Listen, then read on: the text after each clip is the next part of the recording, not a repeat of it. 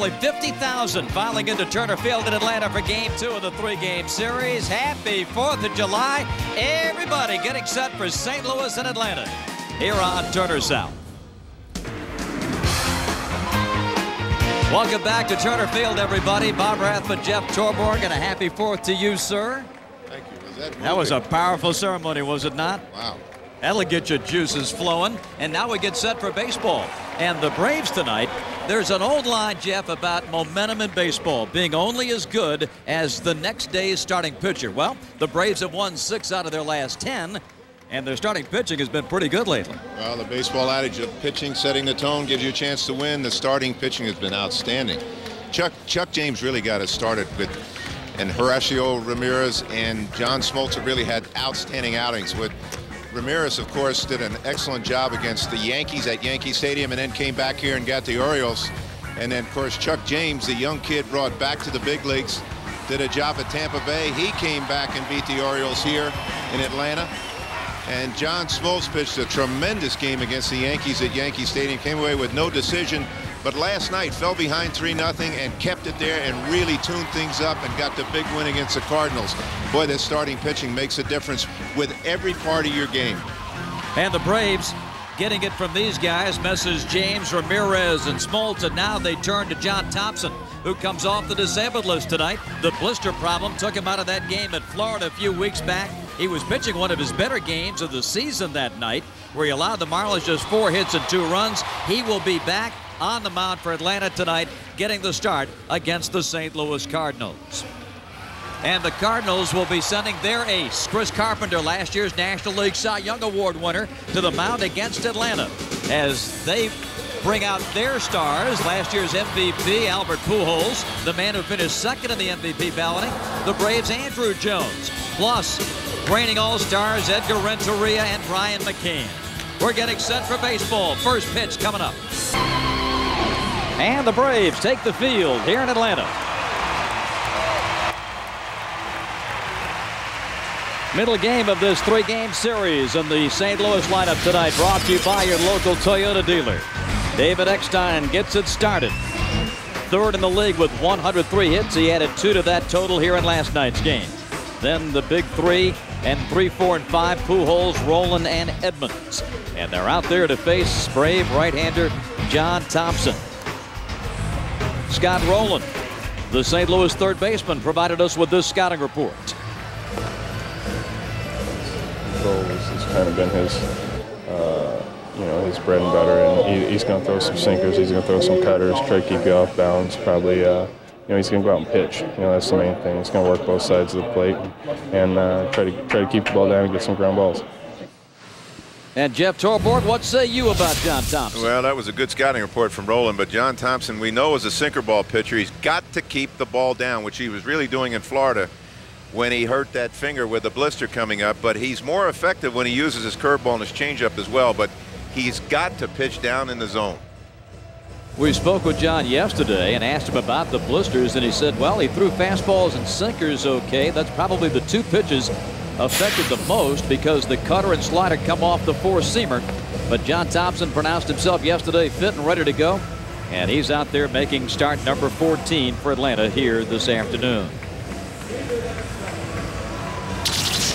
Let's check out the Braves defensively. Andruw Jones and Jim Edmonds, the two starting center fielders, both outstanding. They've got a lock on the gold gloves in the outfield, eight consecutive for Andruw. So here we go with baseball, and David Eckstein, the St. Louis shortstop, to get things started. First pitch of this 4th of July is in there for strike one. Jim Reynolds has the plate tonight. Tim Welke, Kerwin Danley, and Chris Guccione, the umpires on the bases. Eckstein hitting 318. And as we saw in last night's game, Jeff, pretty pesky. He figures out a way to get on with his hits or getting hit with a pitch. Yeah, he's a little guy. He surprises you because occasionally he'll turn on a ball and hit out of the ballpark. Eight home runs last year. But the other part is he, he doesn't seem to ever miss a pitch.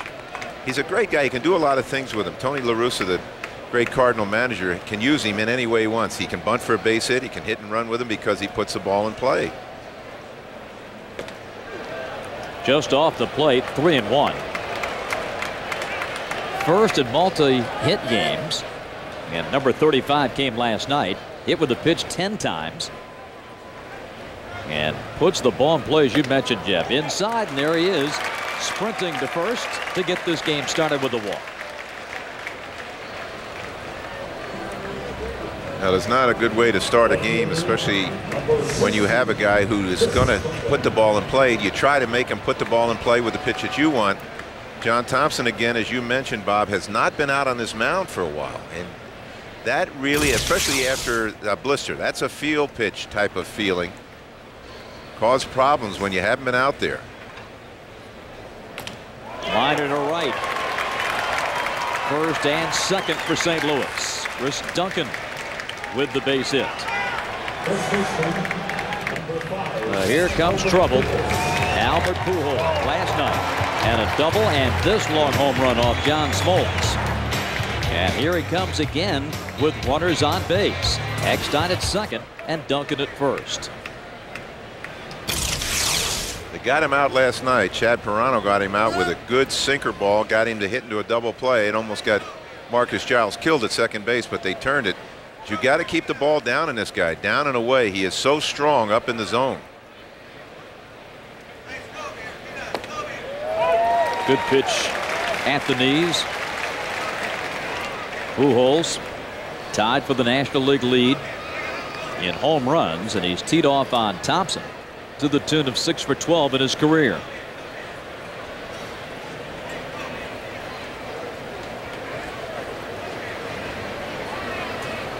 Rolen on deck.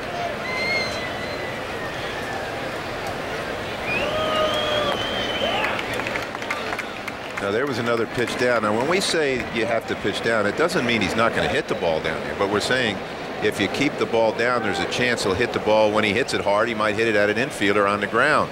It's when you get it elevated to this guy, he can hit the ball out of the ballpark anywhere, from the right field line to the left field line. He's that strong.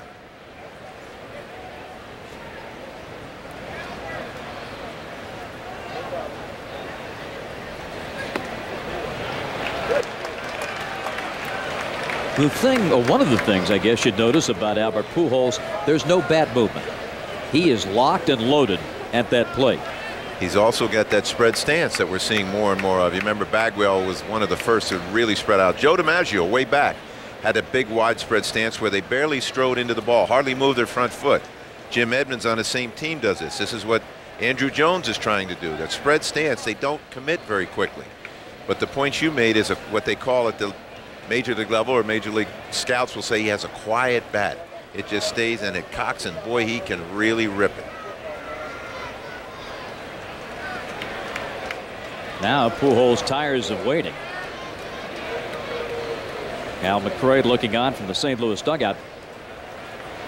If you had a batting stance, young people to emulate, how about Pujols? Pretty good example. I mean, fundamentally sound. Three and one, and Thompson's in trouble. Nobody out, two on. He's already walked the leadoff hitter. And behind the dangerous Pujols, three and one. The Cardinals, it's hard to believe with Pujols batting third every night. The Cardinals have gone eight straight games without scoring in the first inning. To keep that string going, Thompson and the Braves have got some work to do.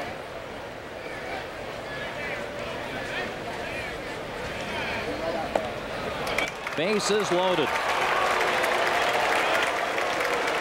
And here comes Scott Rolen.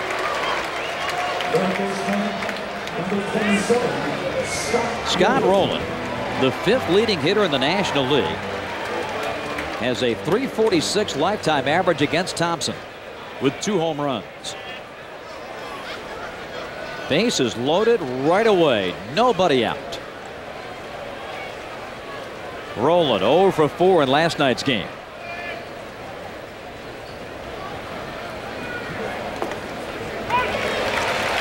There's a nice pitch. That's a good pitch to get him started with.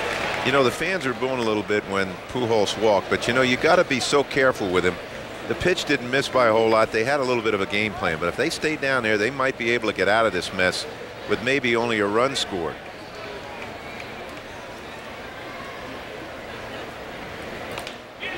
Ground ball to short. Should be two. Giles turns it. The run does score, but the Braves get the double play. 1-0 St. Louis. Now, Duncan I, moves to third. I'm sorry, Bob. I made that comment only because when you're in a situation like that, very often the manager, the pitching coach will go out if he does go out, or he'll say, hey, listen, we'll act like we're going to give up a run here. Let's just try to get out of this with the least amount of damage.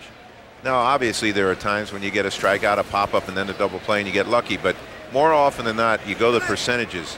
You're happy if you can get away with just giving up one run in that situation. But not done yet. The dangerous Jim Edmonds at the plate. Opening strike. Edmonds hitting 260. Nine home runs and 40 runs batted in. Jim had two hits last night.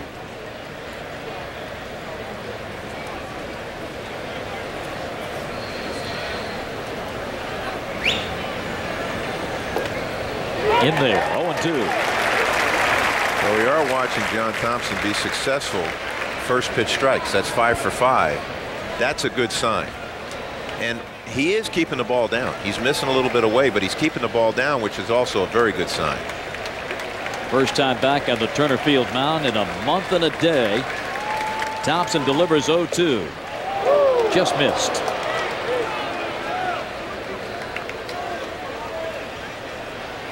First outing since June the 14th at Florida. And his first home appearance since the second game of that day-night doubleheader against Arizona back on June the 3rd.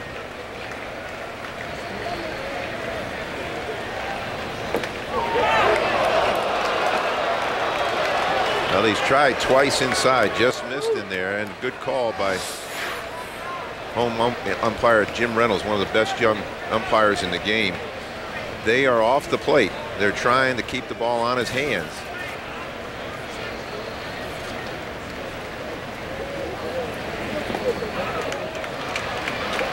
Full count.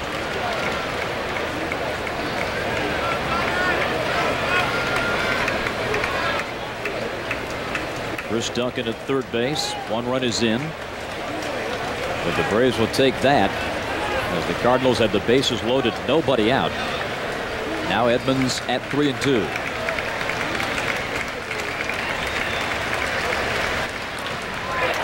Laced into right.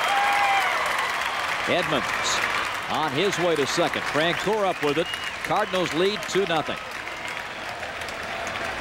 John Thompson got ahead 0-2. Edmonds worked the count full and doubles into right. They're trying to get the ball in again, and they got it. They got that ball might not even been a strike. That might have been off the plate inside, but Edmonds had seen so many in there that he was going to open up and just get his hands through when he got it. I don't. That might not have been a strike even. 10th double for Edmonds, his 41st run batted in. Now right fielder Juan Encarnacion. One for four last night with a couple of Ks. Braves roared back to win 6-3 after trailing 3-0 early.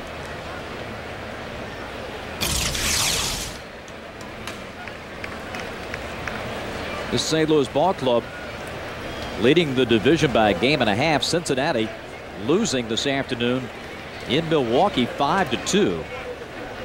So the Redbird lead in the Central is a game and a half at game time.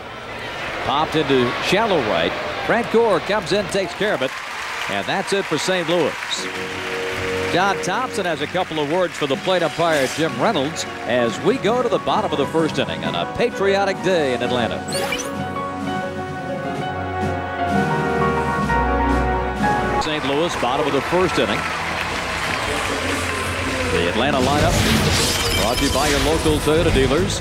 Braves hitting four home runs last night. Giles, Renteria, McCann, and then late in the ball game, Langerhans. And they're facing Chris Carpenter, last year's National League Cy Young Award winner. Boy, he can be dominant when he's on. He's got an excellent cutter and also a real good sinker off his fastball. Giles fouling it back. Carpenter making his 16th start. Spent some time on the disabled list in mid-May. 6 and 4 with a 2.85. That's the fifth best ERA. Great walk strikeout ratio. Giles drills one to left center field. That ball's pretty well hit, and that ball's going to be gone.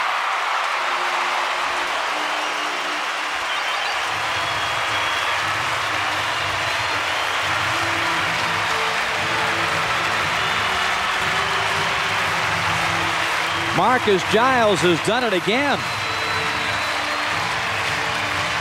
Getting the Braves going as he did in the third inning last night.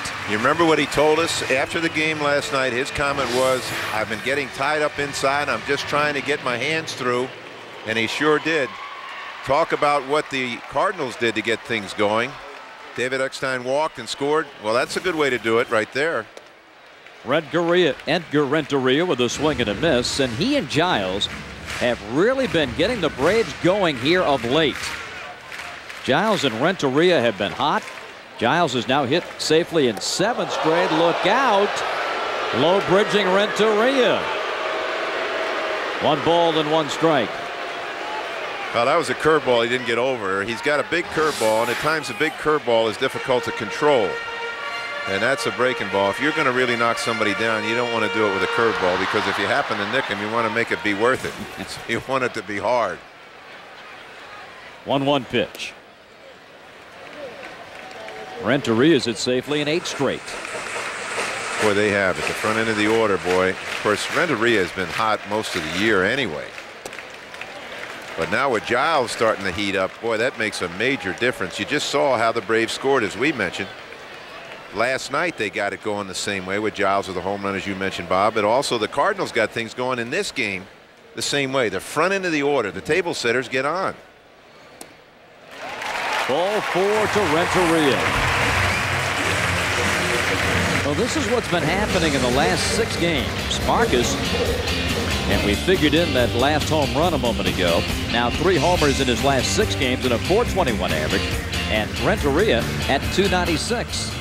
So they're getting on to set the table. And that's giving guys like Betemit, Chipper, Andruw, McCann, etc. RBI opportunities just about every time they come up. Now Betemit's in there again tonight for Chipper. Chipper available to pinch hit. But they want to keep him off that sore foot. Betemit taking strike one. Well, you don't figure to get many off a guy like Chris Carpenter. And what a boost after St. Louis gave him two runs in the top of the inning to come right back.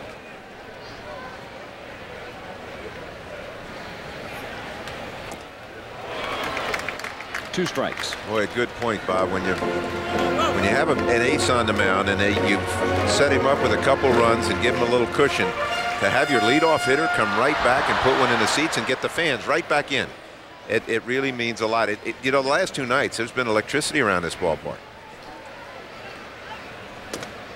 Inside. It's one of the great rivalries that the St. Louis Cardinals meant so much to the South for so many years before Major League Baseball was here. The Atlanta Crackers, at one time a St. Louis AAA club. Tony La Russa once played for the Richmond Braves. These clubs have a great playoff history together. You think back to 96 when the Braves were down three games to one and the NLCS came roaring back to wipe out the Cardinals. And St. Louis returned the favor in 2000. Now, this is a great series. And it's one that the Atlanta fans circle on the schedule when it comes out. Two and two to Betemit. Three and two now. Full count. And really, it's sad in a way, Jeff, that the Cardinals make only one Atlanta appearance all season long. Yes. Yeah, it is. They're, they're a big attraction around baseball. You're right. Great tradition. Both these organizations have great tradition. It's great to look at their uniforms. Those are the traditional, old, original uniforms they've worn for years. But also talking about the table setters, that doesn't allow you to pitch around the middle of the order. If you remember last night, the Cardinals weren't going to take any chances with Andruw at all. They were hoping he'd just come out of his game and try to swing at anything they threw him. They set up in the left-hander's batter's box to get him out. But you put base runners on, you got to pitch those guys. Runner moving on 3-2 and a foul ball down the left field line. Now, just watching that ball hit, Betemit is a good hitter, switch hitter. It's, you know, it's really a, a, pleasure for a manager to have a switch hitter on his team because you know you don't have to worry about matchups. You just let him turn around. However, it's tough for a switch hitter to keep both sides sharp because it's not the same. Doesn't even look the same standing up there. But they've been pitching. The Cardinals last night pitched Betemit low and in the entire game, and it looked like he was chasing everything. The minute they pitch him out over, wacko, he gets his hands out, and he just missed hitting that ball fair down the left field line. You see the splits on Betemit. Runner again moving. Strikeout. Can Renteria get back?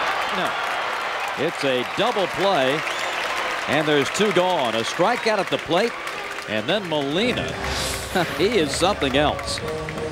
Renteria looking back. He got halfway at nine. I don't think so. And then the Cardinals with Eckstein get him two six three. Well, there's a reason that he wasn't any farther along in that. In that situation, when you're running, you got to make sure you don't get picked off. So that's almost like a hit and run. You're, you're not breaking early. You're hoping that the batter just puts the ball in play. And sure enough, they threw Wilson Betemit low and in, and he missed it. Andruw up two outs, bases empty. Take strike one. 66 runs batted in, 18 home runs. Andruw just one for 13, however, in this homestand. One ball, one strike.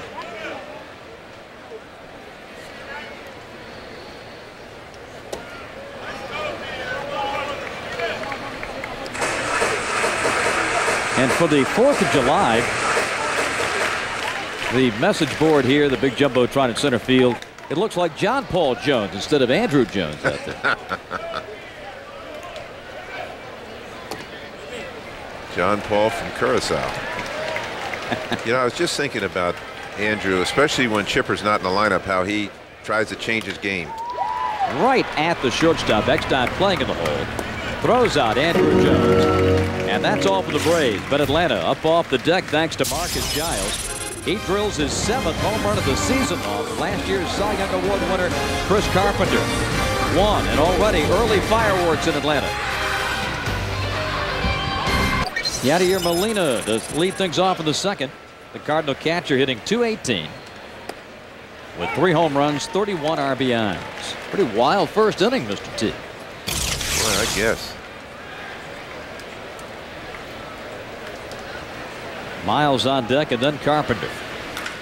It well to left center over Andruw's head and up against the fence. Here's Molina on the slow jog into second with his 13th two base hit.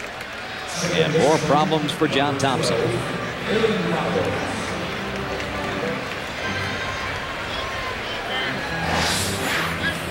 Here's the pitch from John to Molina. He's a high fastball hitter, and he gets one up there. It's almost the same pitch that he almost hit out to right field last night on Smoltz. John got one up there, but it he kept it. He got a little more juice on it, and he kept it on the right side of the field. But this ball was driven by Molina over Andruw's head. You know, he, somebody popped it to get over Andruw's head.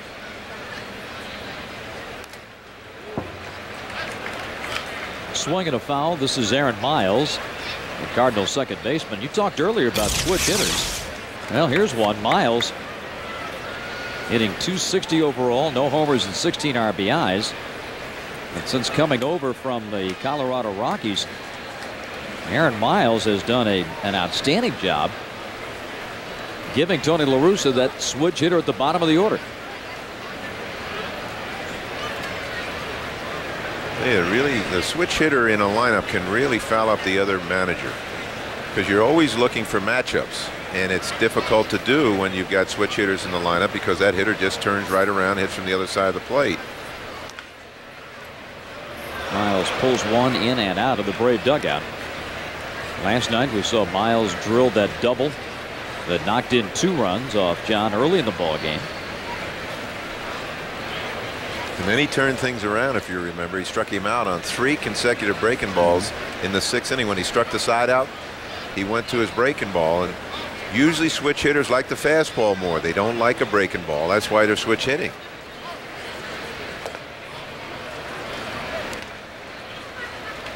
Ball at two strikes.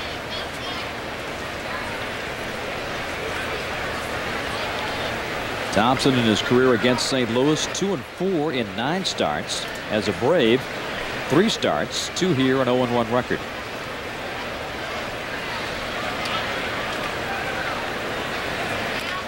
Up the middle. Giles can't get it. Coming around third is Molina. And a 3 to 1 St. Louis lead. RBI single, Aaron Miles.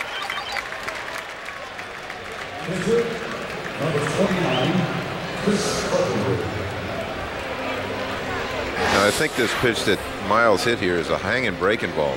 Brian McCann's trying to, yeah, I think it was something off speed up. I don't think that, that wasn't a sinker. And Miles was able to shoot it through the middle. That's another thing. As you see Carpenter getting ready, to showing bunt.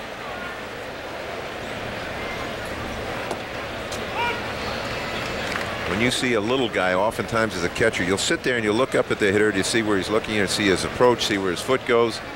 But you, in your mind, you know he's a little guy. You figure, well, you're going to try to shoot the ball around. What's the easiest pitch to do that? The one closest to his eyes where he can see the ball, the ball up. And there was that hanger, and he just slapped it through the middle. Carpenter two for 27 at the plate this season. One run batted in. Drops the bunt down nicely. Thompson bare hand pick to Giles covering a 1-4 sacrifice. That pushes Miles down to second. Get an inside look at the beautiful suburban Atlanta home of Marcus and Tracy Giles in the July issue of Chop Talk. Call 1-877-655-CHOP now to subscribe to Chop Talk, the official monthly magazine of the Braves. 1-877-655-2467.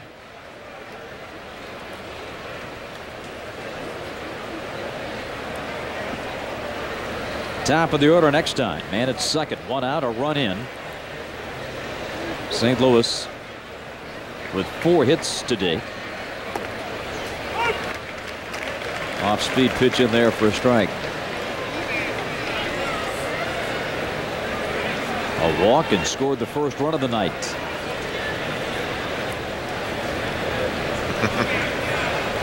Young looking Patriot. One if by land, two if by sea. Now, which way was it? Let's see. That's right. Eckstein looks, I swear, you know, I, I would venture to say he comes to some ballparks and security guards make him show his ID. He looks like he might be the bad boy.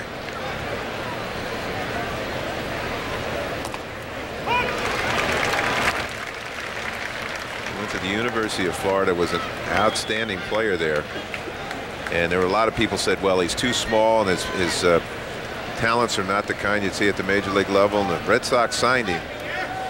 And he went west and got a chance to play. He Did an excellent job for the Angels. And he's picked right up where he left off since he's been with the Cardinals the last two years. Swinging a foul back, a key component of that World Series team in Anaheim in 2002. All right, which one's younger? That's true. Look at.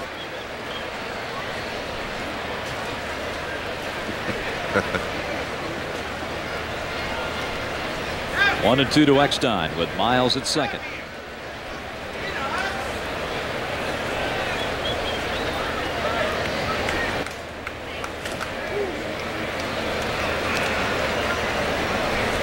Well, what you love about Eckstein in that leadoff spot is his ability to work the count. Mm.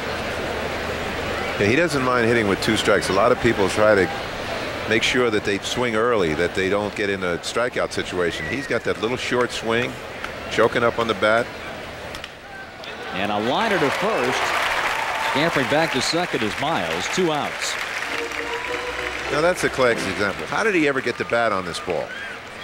And then he almost hits a ball inside the first base line. Got something out of it. And you don't see guys choking up much anymore. Choked up. Look at this. Look at he almost jumped off the ground to get on top of that ball. Look at that swing. That's the way you play wiffle ball in the backyard. Two men gone for left fielder Chris Duncan. Giles gobbles it up. Cardinals get a run, two hits, and leave a man. Middle of the second, St. Louis three and Atlanta one. Cardinals, bottom of the second. Brian McCann to lead things off for the Braves. Big two-run home run last night that gave the Braves the lead that they would not relinquish. Opening strike for McCann.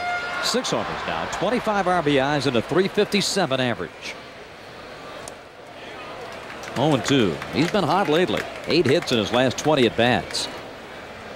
It's been so impressive to me, Bob, and we joked about it, but how hot he's been since he's come back from his injury. Center in Edmonds. Braves facing a great pitcher tonight in Chris Carpenter. We spoke with Jeff Francoeur earlier tonight to get his thoughts on the reigning NL Cy Young Award winner. He's going to throw fastballs, obviously, uh, mix it in and out, and then he's going to come back with his pitch, which is to, to right-handers is his curveball, and he throws it a lot, and he's going to throw it at any point in the count. So you just, you really, you got to look to me for one or other, sit on something, and, and try to hope that it's a uh, a pitch you can handle and drive it. Starts him with a breaking ball, missed with it inside, and Frank Francoeur hit a home run off Carpenter last year in St. Louis. Slowly hit, Rolen can't make the play. Infield hit Jeff Francoeur. Well, you know one thing, Scott Rolen can't come up with it's got to be a base hit. Boy, he's a fine player. And one of the reasons he had to come busting in, he knows Jeff Francoeur can get down the line. Jeff's a big guy, but he can run. Know, you don't realize that Francoeur is six foot four, uh, 220 pounds. He can really go. But you see, that's one of those do or die things for Scott Rolen. He's got to come up barehanded and make the throw immediately, or he's not going to have a chance. Kind of looked at looked at his head there. He looked away a little bit, looked toward the base when he went to reach for it. Second brave hit. And Adam LaRoche takes ball one. Fourth of July, a special day in the LaRoche household. Their daughter Montana celebrating her birthday today. Let's see if Daddy can hit one out for. Missed last night's game due to back spasms. Overall, Adam hitting 250 with 13 home runs. Braves have really been hitting the long ball. Giles tonight gives the Braves five in this series and eight home runs in their last three games. Adam is starting to heat it up a little bit. We were talking yesterday before the game about his timing. He's a real timing hitter. He's not a big muscle hitter. Everything is timing. He stands almost upright. He starts with his toe off the ground or his toe on the ground and his back heel up. And then he just kind of gets in position to hit. But he's the most relaxed looking hitter. It, it doesn't look like he's ready to start with, but it gets him going. Look at the stance. It looks like he's just uh, Waiting for the bus. yeah, kind of.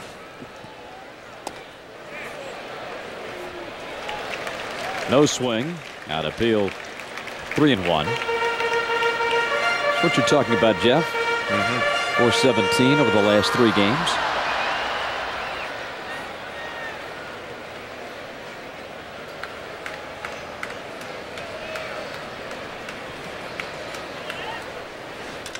Liner.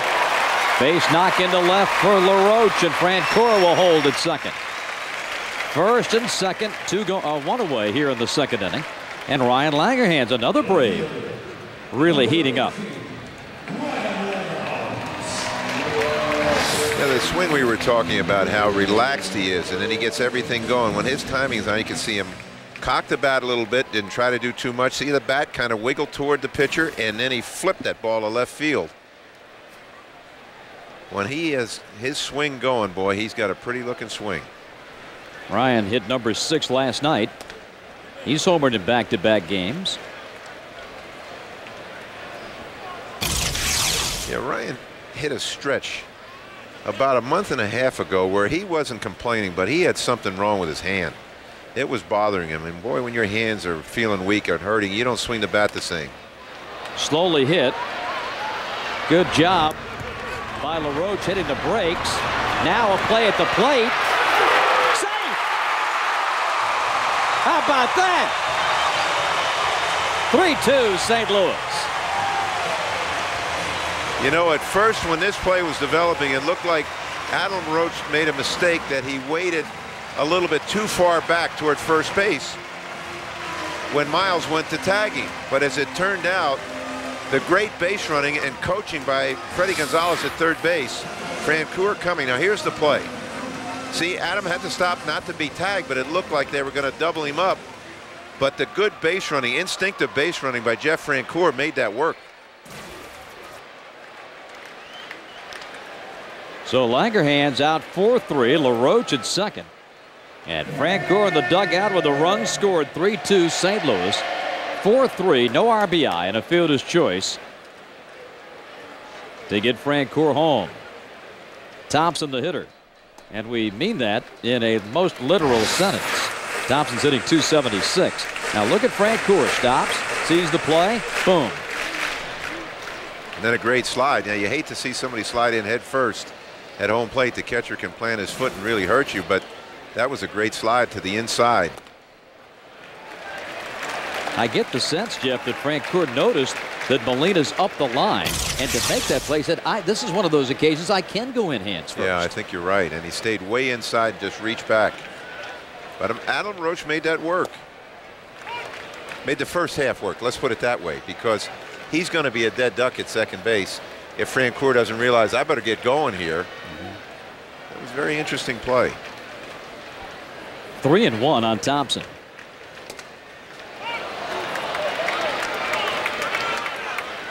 Some of the umpires behind home plate thought that may have been ball four.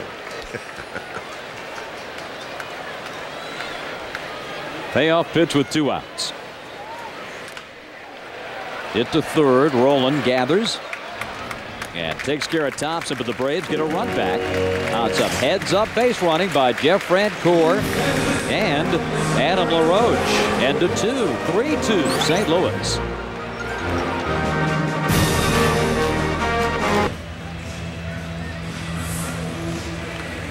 To the third inning. And here comes Albert Pujols to lead things off. Walked in the first inning. Had two hits last night, including his 28th home run. Lance Berkman hit two for Houston last night, tied him for the top spot in the National League. And Berkman has gone ahead of him in RBIs. Lance now has 76 after today's Houston win over the Cubs. Pujols sitting on 73.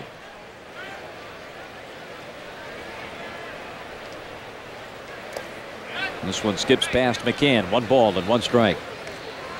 One of the most incredible hitters in the game in terms of his consistency from day one. He's already won a National League batting title. He's never finished lower than seventh. He's led the National League in runs scored three times. He's led the league in hits, and he's never finished lower than fifth in hits. I mean, it's just amazing what this guy has accomplished. And no end in sight. Well, it had to scare the Cardinals a little bit earlier. What was that? About four weeks ago, when he yes complained of a oblique muscle strain. Now, you're when it first happened, you wonder, uh oh, did he blow a back out? You know, a, a disc or something. But he got back in a hurry. Sends one high and deep to left field. Langerhans going back. Will he have room at the fence?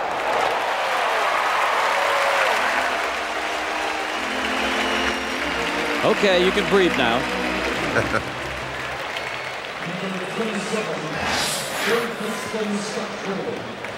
Boy, if I hit a ball this well and it didn't go out, I'd stand there and cry. This he he just got under that just a little bit. Ryan looked like he measuring where the wall was, open and it didn't carry. Scott Rolen hit into a double play in the first inning. Takes ball one. Great bounce back season for Rolen after the injuries of 2005. Roller foul up along first, and the count's even. As you look back, Jeff, and it's been a wild one here. Each team has scored in its each half inning of this game today. But we may look back on that at bat back in the first inning as one that turned the game. You know, either in in Atlanta's favor if they can come back and win this thing. Bases loaded, nobody out. Rolen up, hits into that 6-4-3 double play. Yes, yes. Yeah, because the game can be broken wide open anytime in the game, but in the first inning, a bases loaded situation like that, you get a big base hit, continue to keep the rally going. Hmm. Two and two. And what it does also, it can ruin you not just for that game, because if you get a starter knocked out early, invariably if a starter goes very early in a game, it can ruin a bullpen for three, four, five, sometimes a week.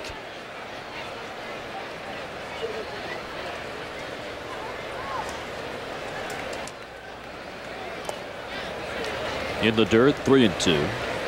Rolen, a fabulous athlete. Mr. Baseball, of course, coming up, but also a great basketball player in high school and was offered a scholarship to the University of Georgia. Hmm.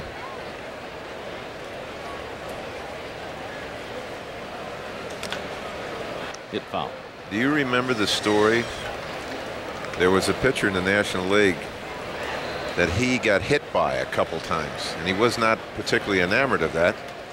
He went to the visiting dugout, the other, I mean, the clubhouse, and called the guy out of the clubhouse. I'm going to talk to you about this.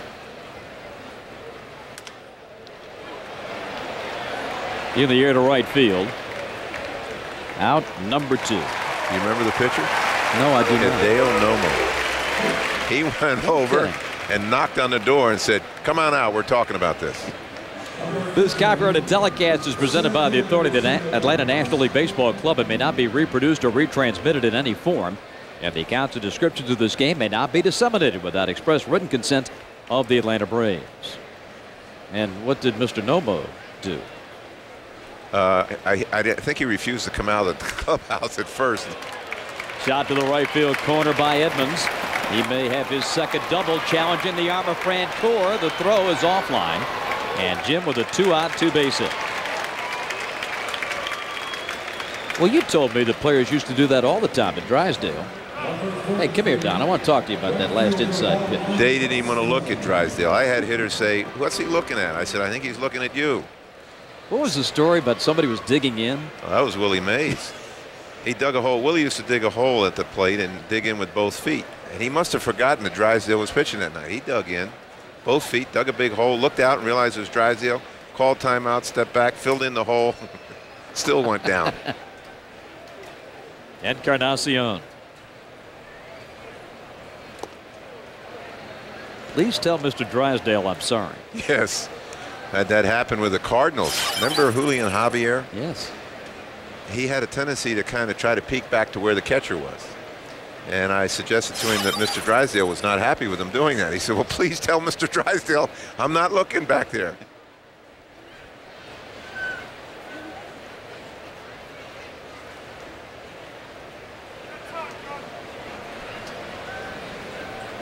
Encarnacion popped up to right in the first inning. John Thomson off the disabled list today. Lance Cormier was optioned to Richmond to make room for him. And the Cardinals have had grand total of five hits and maybe a deep shot to center here. Andruw can't do anything about this one. Encarnacion to straightaway center to make it a 5 to 2 game. He didn't get cheated on that one. His 11th home run.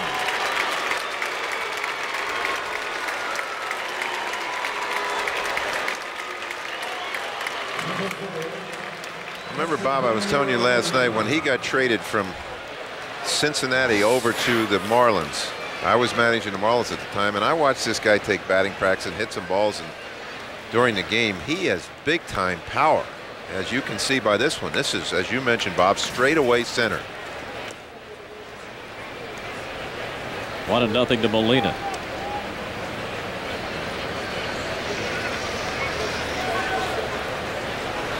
Two run home run, and all this coming after two outs and nobody on base. Two and nothing. Encarnacion you may recall, Braves fans, last year, opening day. Here's a one hopper out to second. More on that when we come back. Two-run home run by Juan Encarnacion, and the Cardinals now have a 5 to two lead in Atlanta.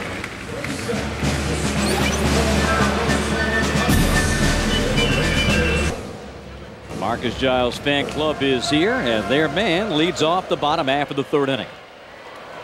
A home run to left center field in the first, his seventh of the campaign, and his second in as many nights.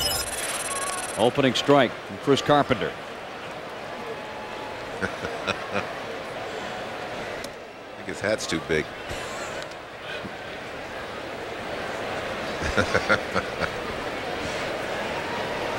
those are great shots. I like those. Chase one. One and two.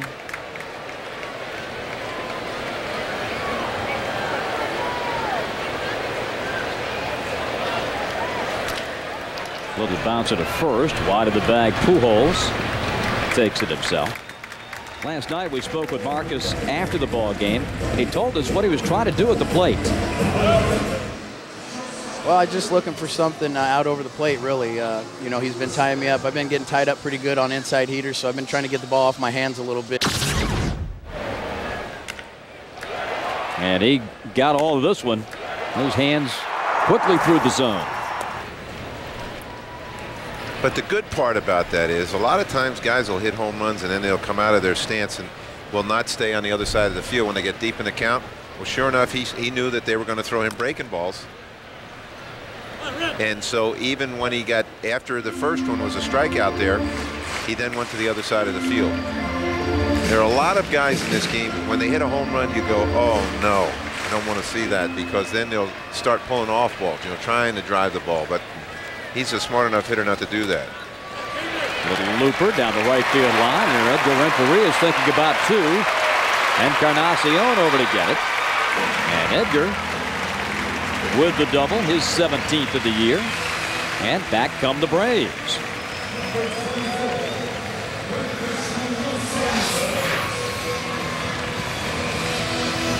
Edgar has a real knack of staying inside the ball. When he wants to go the other side of the field, he can do it at will.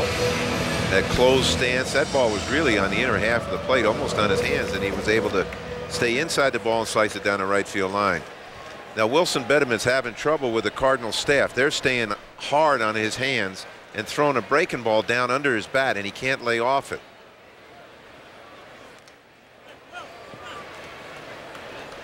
Beteman struck out his first time. He's fanned three times in two nights. Yes.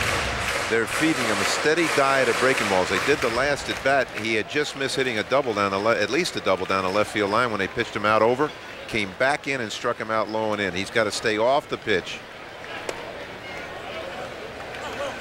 They keep trying. You see where they were? They were back in there again. And of course, if you're selected and you stay off it, now they're going to have to do something else.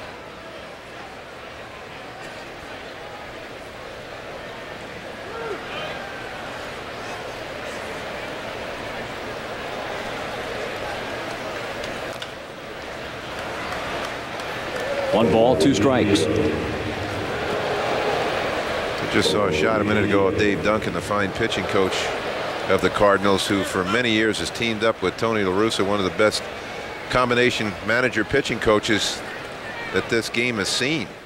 Dave had a chance to manage a different couple different places, and he decided that he'd like to stay. He enjoys the working with the pitching staff so much.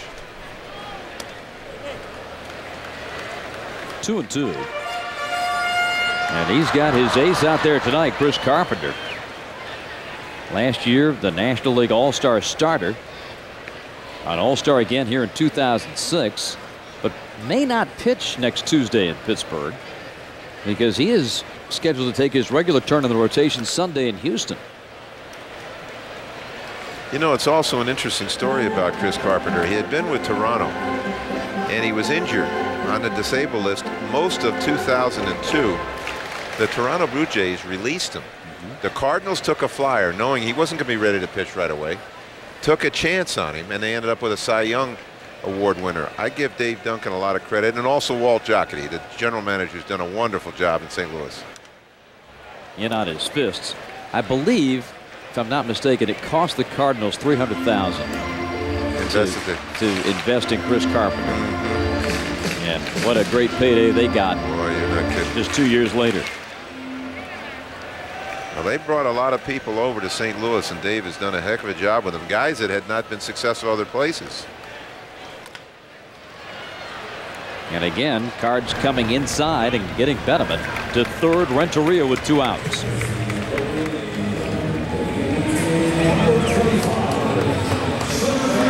Andruw Jones is next. Grounded to short. That back in the first inning. Renteria at third. Braves trailing here by a score of five to two. Each team has scored at least a run in every at bat through the first three innings. Braves trying to keep that streak alive here. They're still using the same technique. Yadier Molina, the catcher, when he sets up, they want the ball outside. If there were a left-handed batter there, you wouldn't even see him. He'd be behind him. now they want to come in, and Andruw hits it up the middle, but the shift was on. Miles practically up the middle and shaded close to second, fields the ground ball, and that will take care of Andruw and the Atlanta Braves. 4th of July in Atlanta and throughout the Southeast. Happy Independence Day. 5-2 Cardinals. Some dark clouds in the distance. We understand around Peachtree City. Big shower right now. Hopefully it's not moving our way. 4th of July and rain. Braves baseball. Hmm. if you were with us on the pregame, we went back and showed you that 1985 game. Here's Aaron Miles leading off for the Cardinals in the fourth inning. An RBI single to center his first time. Switch hitting second baseman. Team in trade from Colorado last December. Low, one ball, one strike. Miles, as a Rocky, became the first Colorado player ever to homer from both sides of the plate in the same game. Did that two years ago against Arizona. 2 1. Hasn't hit a home run this season.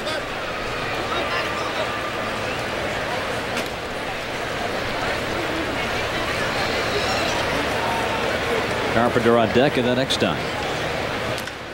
In the air left center field. This is going to be in.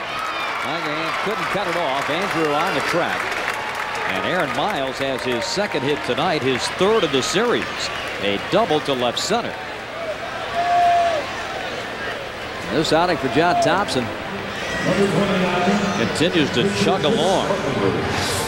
Seven hits now for St. Louis. This is identical to the pitch last night that Miles drove into left center field. The identical place that drove in two runs off of John Smoltz. Identical place in the strike zone. Up and out over. When you think about it, these Cardinal middle infielders are not big guys. Eckstein is 5'7", 165. Miles is 5'8", 170. They get the most out of their ability. They don't try to do too much. They know what they have to do. Slap the ball around, put it in play. Carpenter drops down the bunt. Thomson will go to first. 1-4 sacrifice gets Miles to third base.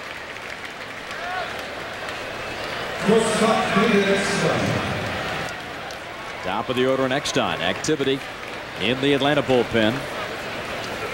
As pitching coach Roger McDowell heads to the mound. This is Tyler Yates. I think this is probably what this meeting is all about is to give Tyler a chance to warm up out here in the bullpen. Because what do you say in this situation? You got the top of the order up. You go out and say don't walk him. You know, I had some brilliant statements when I went out to the mound sometimes. Don't walk him, don't let him get a hit, and then I'd leave. And they said, you know, later on they said, why didn't you explain how you wanted that done? I didn't have an answer, so I just left that with them. John Thomson started the year off brilliantly. His first seven starts, his ERA was under two, 1.87. But after that, John ran into some rough times in his next six starts, won only one. And we mentioned he came out of that last start, which was going along pretty well in Florida, with that blister problem that put him on the DL. Last, last six starts, one win, three losses, and an 880 ERA. Hasn't won a game in this ballpark all season. Infield in.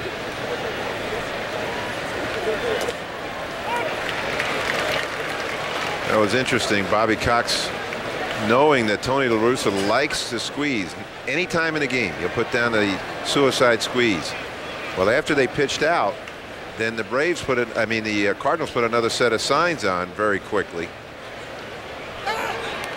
And there comes a squeeze, Yep. and it's fouled off. It didn't come the immediate pitch after. It was two pitches after the the pitch out. You know, both sides of the field, you're really trying to think, what's the other guy going to try to do? You know the tendencies. Here's the attempted squeeze. What the rule of thumb is on the squeeze for the hitter is you got to you got to make sure you make contact with it. Now, obviously, you'd like to see him get it down fair, but you don't want it to get by him. One, two. Went down and got that one to foul it back. You know, it's interesting. I think uh, that Tony might squeeze with a guy like Eckstein. You, you got a guy that makes contact. You got the infield in. Yep. His ability to just slap one past the infielder would get him a run. Well, he likes the squeeze, mm-hmm. and it also juices your team up. You know, the squeeze play for some reason gets everybody's blood going.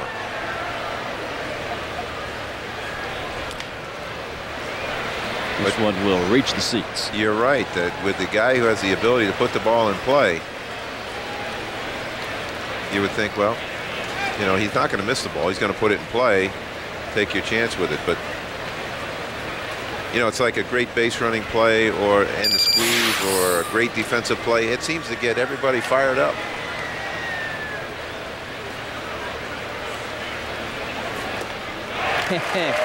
Wouldn't you know it? Strikes him out. What a big K for Thomson. A busted squeeze, and now the sacrifice fly no longer a possibility. You know, I'm not sure, but I think this might have been a breaking ball that didn't break. And Eckstein was waiting for it to break and waiting for it and waiting for it, and it didn't, and he swung at it. Two men gone. Chris Duncan, the hitter. Infield relaxes with two outs. Duncan singled to right and scored the first to bounce out in the second inning.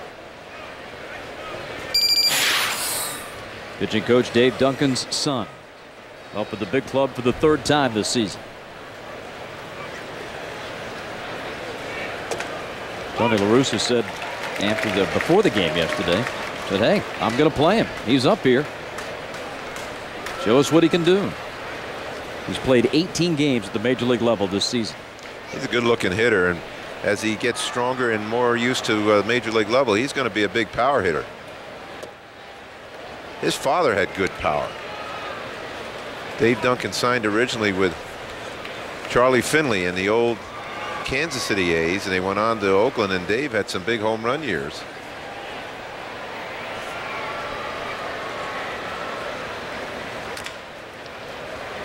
pulled foul two and two Chris came up last year for St. Louis and got into nine games and we talked about that home run his first in the big leagues he's hit three this year that home run in the regular season finale at Busch his home run proved to be the game-winning RBI man Three and two. What happened here? Well, it missed. You know what made it look so good was that Brian McCann caught it so beautifully. That was just off the outside part of the plate, but beautifully caught. Ball four. And I don't believe Mr. Thomson's too long for this game with Pujols coming up. Nope, here comes Bobby. That will be the third walk allowed by Thomson. And Tyler Yates will be summoned.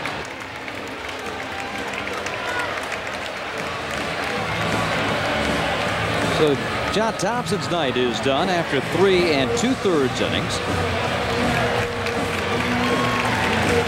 Bobby's got to go to the pen fairly early. Braves manager Bobby Cox making the singular wireless call to the bullpen.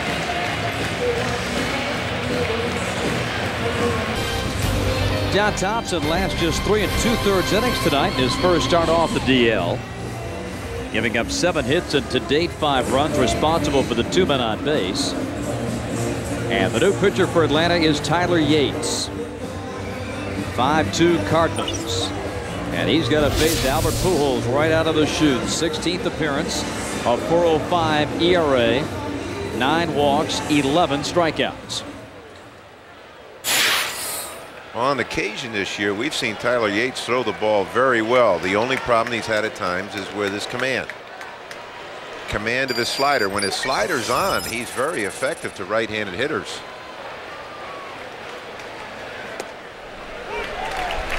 Opening strike to Pujols, who has walked and hit one to the warning track and left.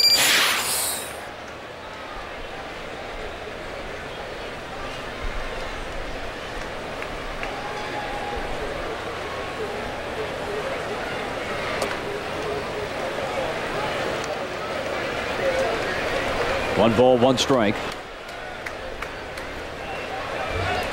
You must pitch Pujols carefully, of course, but there's plenty of thunder behind him. You do have a base open. Rolen is on deck, and then Edmonds.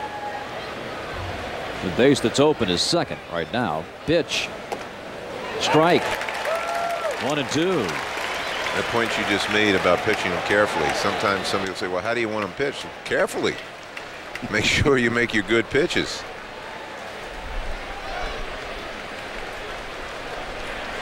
No fair licking your chops, Pujols.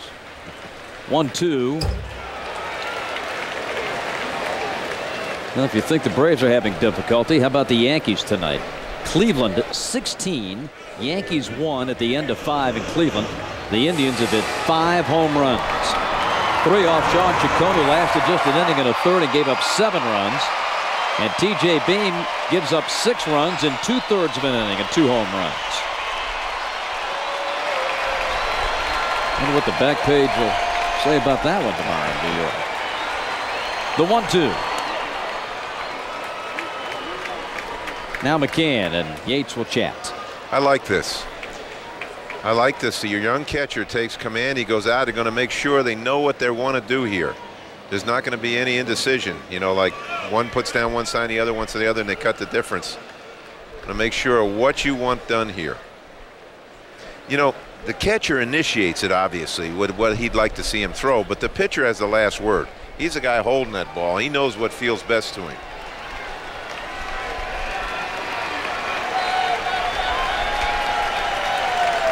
Two and two to Albert Pujols.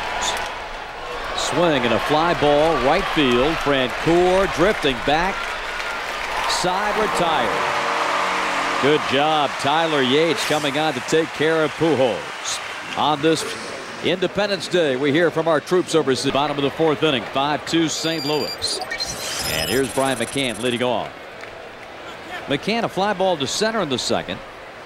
Coming off a two for four last night, uh, night last night two-run home run, and this one hits him. I was just about to say, we haven't seen the vintage Chris Carpenter. He's complaining that that ball did not hit him. Tony La Russa coming up to the top step, but McCann standing on first base. Let's go to the videotape.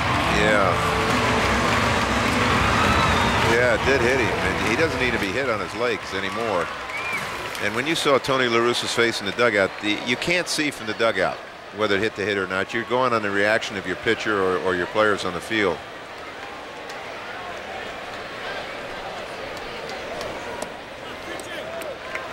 Francoeur taking ball one. But to add to what you say, I agree with you. It doesn't look like he's as sharp. He's not getting his curveball over as well as he can.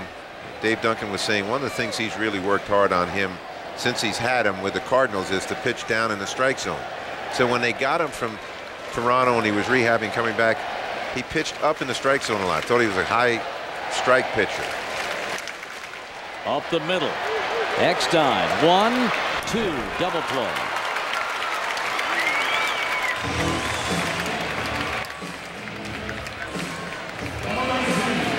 Two away for LaRoche. And reminder to show support for your favorite team with officially licensed Major League Baseball merchandise. Log on to MLB.com to order. Adams singled to left in the second.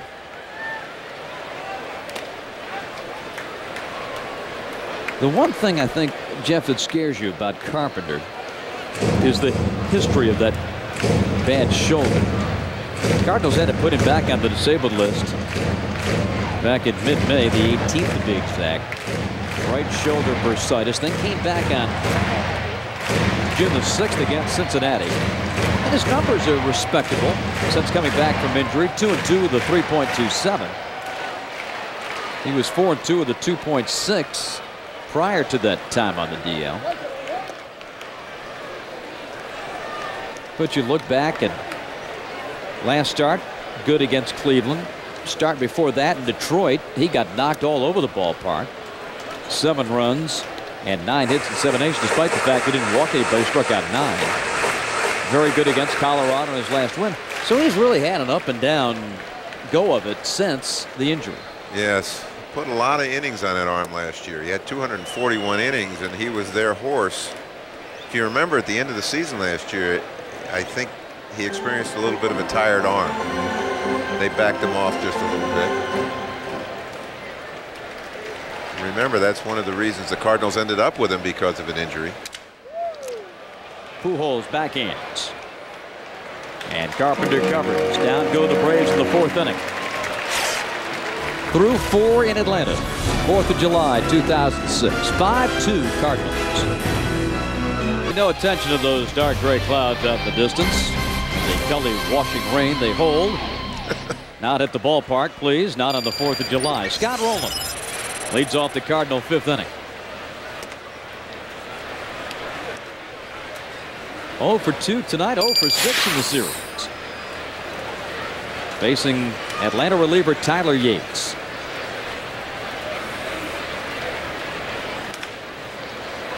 Tyler Yates is a guy that went to camp with Baltimore. Coming off a completely missed season in 2005 due to rotator cuff surgery. Braves let him go and Atlanta picked him up, signed him in early May for Richmond. Came to the big leagues on uh, to uh, back to the big leagues, I should say, with Atlanta on May the 30th after posting a 2.16 ERA and a little over eight innings with the R Braves. And we've talked, Jeff, uh, earlier times when Yates is in there about his stuff. Right field and Francoeur. And Yates doing a good job getting Pujols and Rolen on fly balls to start here. One away. You know, you're just talking about his stuff. That ball beat Scott Rolen there. That was a 95 mile an hour fastball that got on his hands. You're right. You know, when you talk about, you see a lot of elbow surgery called Tommy John surgery. Those guys come back if they rehab properly, throwing almost as hard and maybe harder than they did before. Not so much out of shoulder surgery, not the rotator cuff, but Tyler Yates is throwing the ball very well. Mid 90s consistently. And a cutter that usually hits around 88, 89. Location has been yes the question mark. Yes.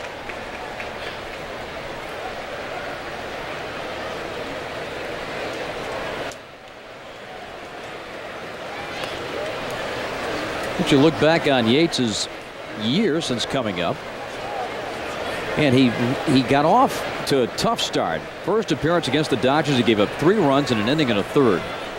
Since then, he's been pretty good.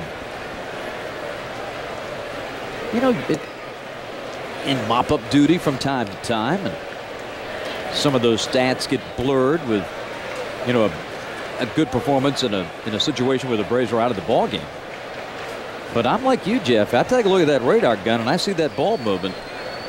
And you say, boy, if he can harness this, coming back off of all those injury problems. I mean, he had two major surgeries, Tyler Yates.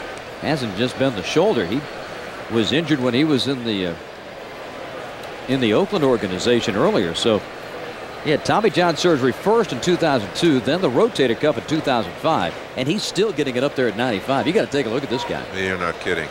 But as you said, you know, guys can throw lights out, can throw it up to 100 miles an hour. You better be able to locate. Just off the plate. And ball four. You may already know that the Braves Clubhouse Collection is your number one source for Braves merchandise, but did you know that we are also the source for authentic game used items? For more information or to place an order, call the Braves catalog at 1 800 433 Braves today. You can always visit the Braves Clubhouse store at CNN Center. Big 4th of July crowd to take it in. Fireworks, of course, after the game. And we've got a good seat for you right here on Turner South. We'll be along with post-game coverage tonight. Featuring the fireworks show here at Turner Field. Some have already gotten into the uh, holiday spirit. One out in Encarnacion. I mentioned the, when he was up and hit that home run in the third inning. You think back to last year when John Smoltz pitched opening day in Florida, and John just got bombed right out of the gate. Encarnacion hit that grand slam home run off John on that opening day, and then of course Smoltz turned it around 180 and just had a fabulous season. Hit hard to third. Giles double play. Nicely turned around the horn by Atlanta. Middle of the fifth. The Cardinals with a 5 to 2 lead on Atlanta.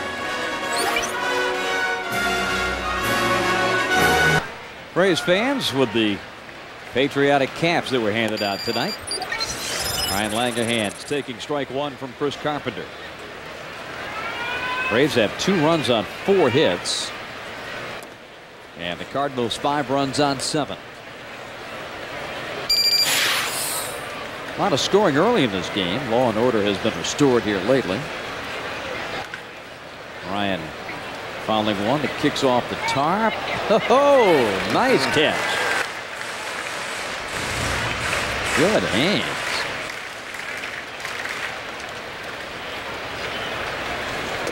All right there, strike three call.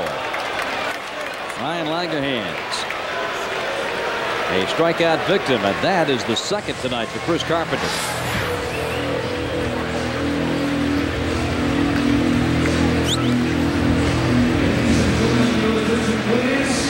Delay call, perhaps, by Jim Reynolds. It was, you know, this ball tailed back right at the end. I, I thought it was going to be inside. It was back over the plate. Scott Thorman to pinch hit for Tyler Yates. You like what you see with this young man, Pat? Yes, I do. I like his whole game. Third baseman Rolen takes care of it. Well, a very special day when you tie baseball with the holiday on the 4th, and special to John Smoltz. I know as a dad uh, that my kids just love to see fireworks. And one of the best times they've ever had was just on the porch of our house across the river. Orchestra was playing. The fireworks were going on. They thought that was the neatest thing in the world.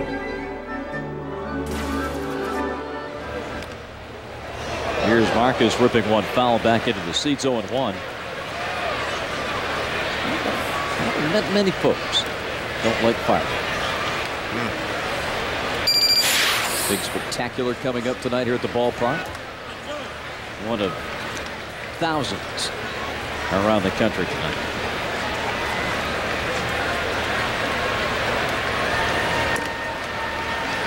That's some unique experiences in all the years of baseball, doing a lot of traveling. On getaway day, having played on the 4th of July and then going to plane, go to the next town, and you're watching the fireworks below you. Yeah. That's unique. In all the towns, you know, around across the country as you're going west, for an example.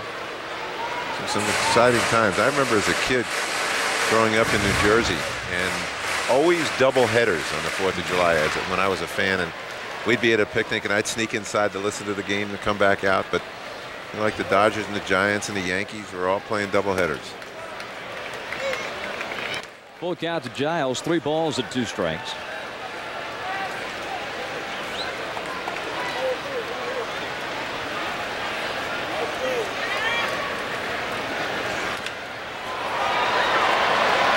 Edmonds has it tracked. On this 4th of July, we salute the military and hoping that your 4th of July has been fun and safe. Bob Rathbun, Jeff Torborg, and our crew from Turner Field in Atlanta. Big house to watch the Cardinals and Braves. And watching two of the greatest managers as the rain begins. Two great managers matching wits in this one. Tony La Russa and Bobby Cox. You talk about the all-time win list. There's Tony at number three behind John McGraw and Connie Mack. And Bobby sneaking, sneaking up on Bucky Harris and Sparky Anderson.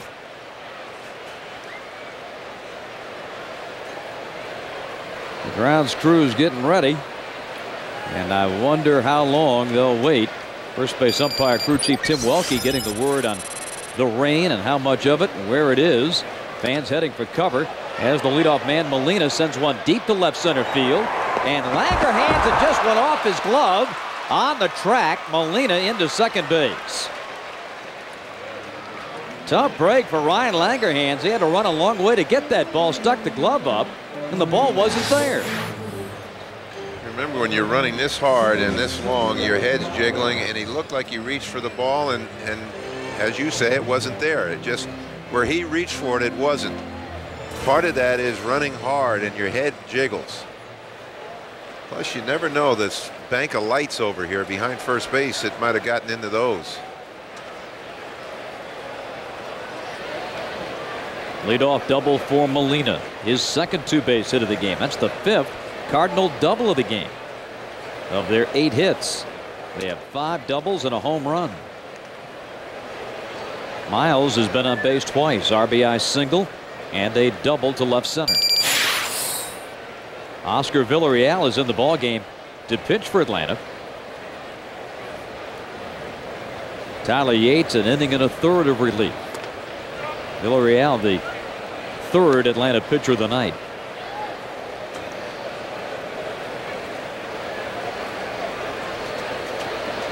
Good job by Tyler Yates. Yes, very good job.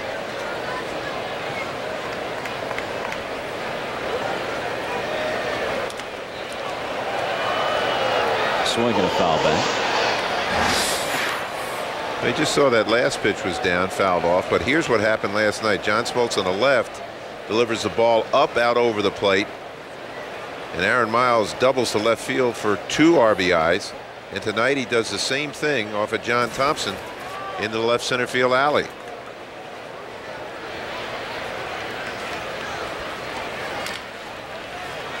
Right side bouncer will get the runner to third.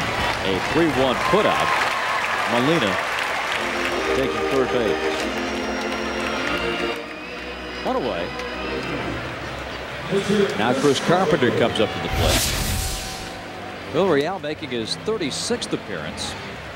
And over his last three, he has pitched seven and a third of shutout baseball to knock a point off his ERA. He was at 499 coming out of Houston. Then pitched superbly in relief of the injured John Smoltz at Tampa Bay back on the 23rd of June. Inside, boy, it's really raining now. And Tim Welke says that's it. Hold everything. And a one ball, no strike count to Chris Carpenter. Here comes the grounds crew. And for the second straight night, we've got a rain delay at Turner Field. This one comes in the sixth inning. With Molina at third, one out, and a one ball, no strike count on Chris Carpenter. Well, if this doesn't if this doesn't bring back memories, Fourth of July and raining in Atlanta. If you were with us on the pregame show, you saw this. But if you weren't, we want to re-rack it for you and, and share it with you again. If you're a Braves fan, just a baseball fan, you have got to love what happened here back on the 4th of July of 1985. The New York Mets were in town, and we had a big rainstorm that delayed the start. And then the New York Mets and Atlanta Braves played one of the wildest extra inning games in baseball history. A contest that lasted through a second rain delay, and they played 19 innings before the ball game ended close to 4 a.m. on the 5th of July.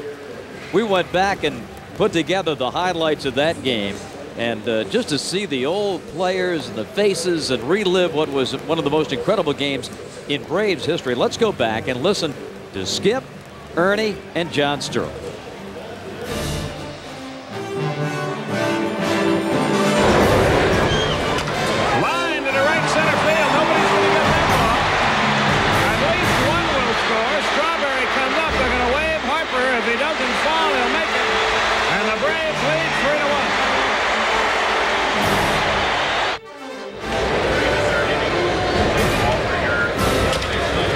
The middle. Another base hit. Another run is in. It's 5-3.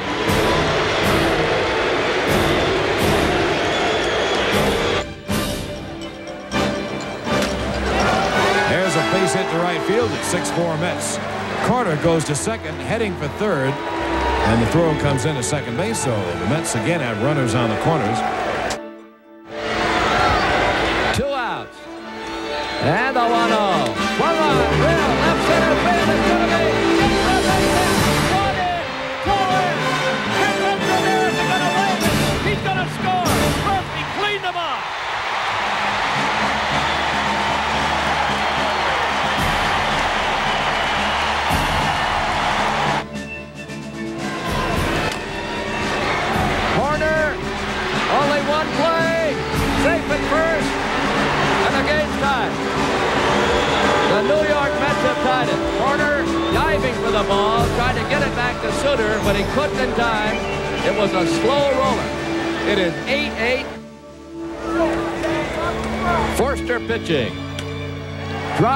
Left center field. Harper back. Will a ballpark hold it? It won't. It's a home run. It's a home run for Howard Johnson. Here in the 13th inning.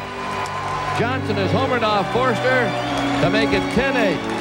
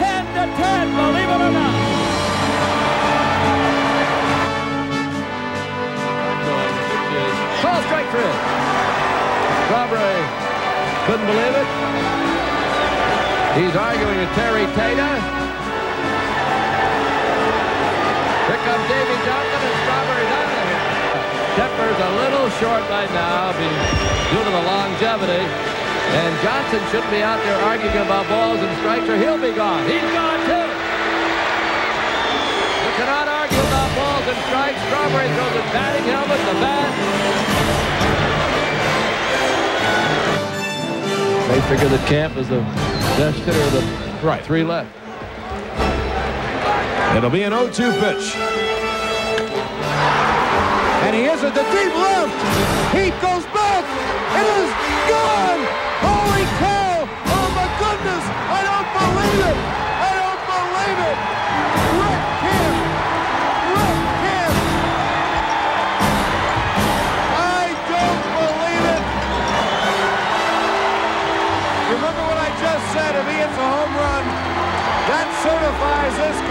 The wackiest, wildest, most improbable game in history. On an 0-2 pitch, Rick Camp hit it over the left center field wall. I don't believe it.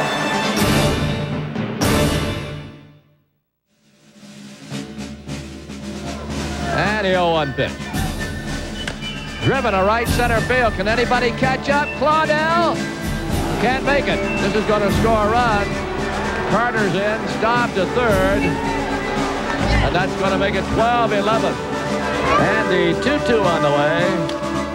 Base hit right field. That'll score one. Throw toward the plate. Going to be not in time. Bounced off the runner. Another runner coming to the plate. And three are going to score.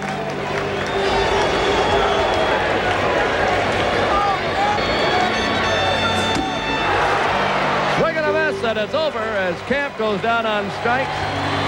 And listen to the hand from these fans here for both sides, really. We talked about this. For what an effort.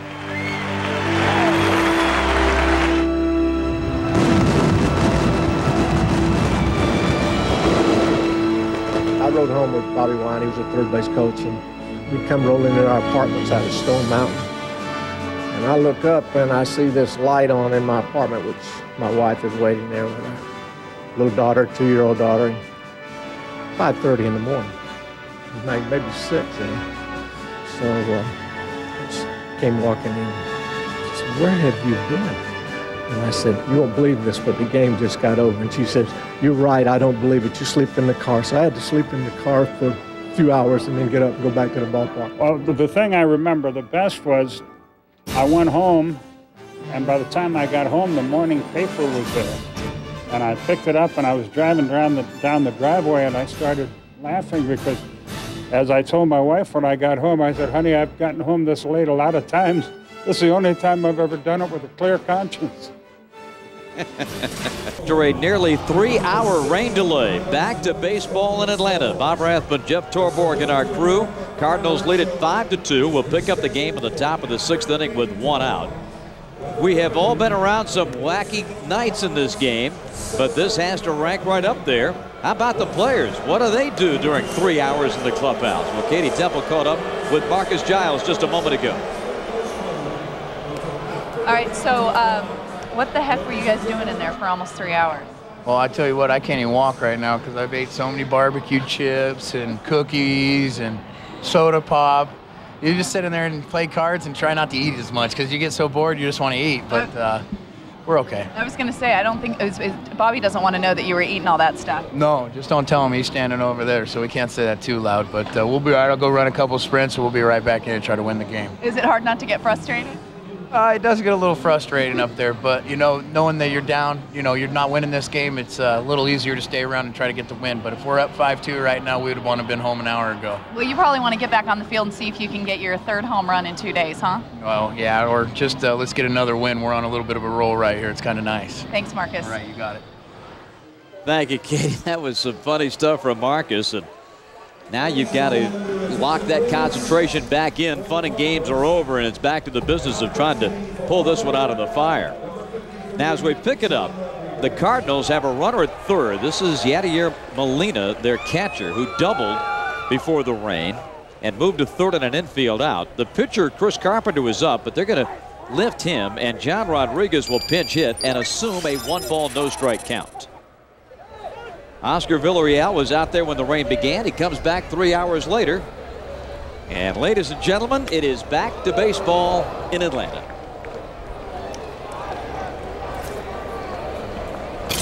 And they have just made the announcement in the press box that the fireworks for tonight have been canceled.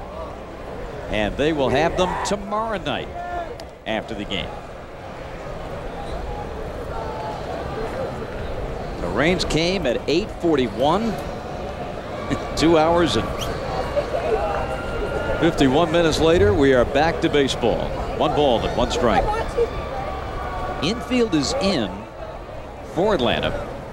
Braves down by three and a pitch out, thinking that, hey, maybe La Russa might go to that squeeze again. That's very interesting because a lot of times managers will stay away from the squeeze with a left-handed hitter because the pitcher and the catcher can just make sure the throw is toward third base and they would be almost impossible to bunt the thing. But if you time it right, sometimes you can't do anything about it. It's too late.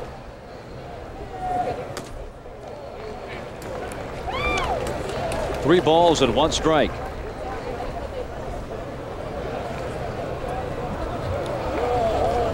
You know, it's strange here. You come back after almost a three-hour delay, and the game could be riding on this at bat right here because another run could make it four on the board as far as the lead is concerned. This one fouled into the seats, and I have to think, Jeff, that's one of the toughest things about a restart like this. Sit, sit, sit, hour after hour after hour, and then they tell you, okay, it's go time. Yes. To, to get that concentration and focus back. Well, it's for both teams. Yeah, obviously it's a difficult situation, but especially for a pitcher who is he was out there. Villarreal was out there three hours ago, back in here trying to keep this runner at third base. Payoff pitch. Hit in the air to deep center field. Andruw going back. Andruw at the wall. He'll make the catch. Tagging at third is Molina, and he scores. Boy, Andruw hit that wall hard, and he's hurting a bit. And the Cardinals now lead it 6 to 2. Take another look at this catch. He really slammed into that wall. Yeah, this was his right arm. He's feeling for the wall, and he got there so fast it got pinned under him, I think. Was it the elbow, perhaps? It could have been. Yeah, it looked like, you know, sometimes it, instead of hyperextending it, it just pushes it back even farther. Now the batter is Eckstein. Cardinals scored five runs in the first three innings.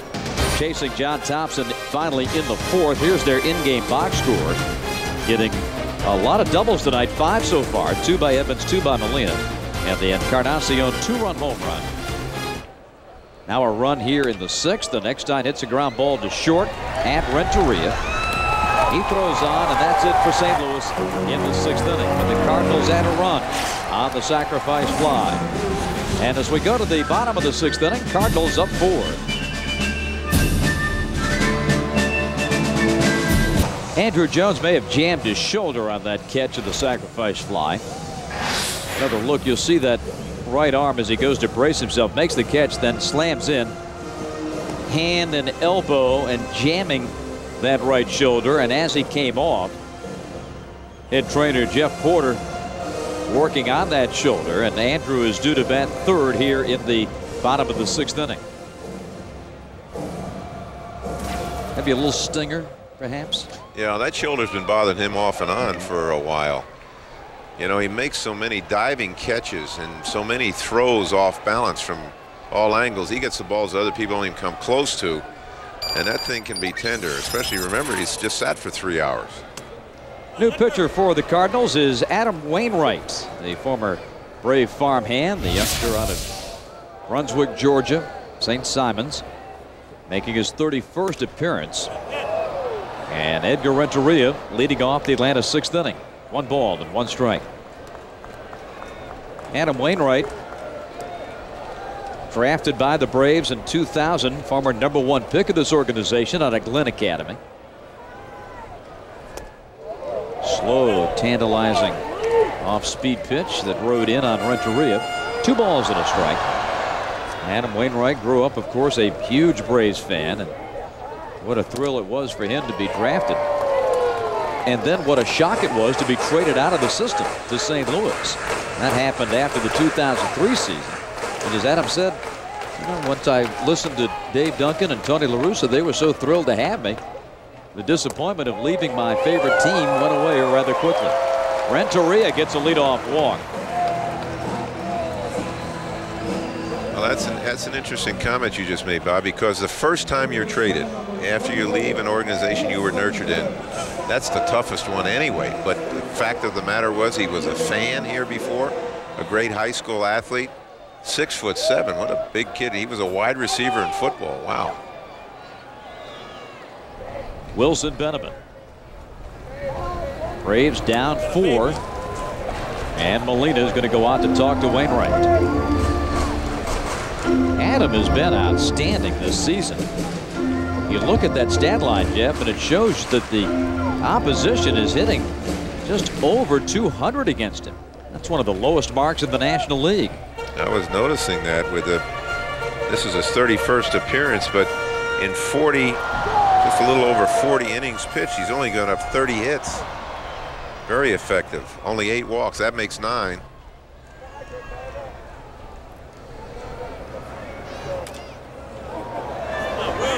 Foul back, one ball, and one strike.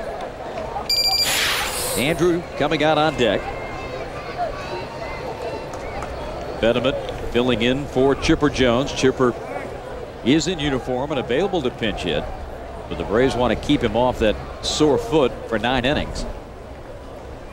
Chipper will be checked again tomorrow. A wave and a miss. One and two.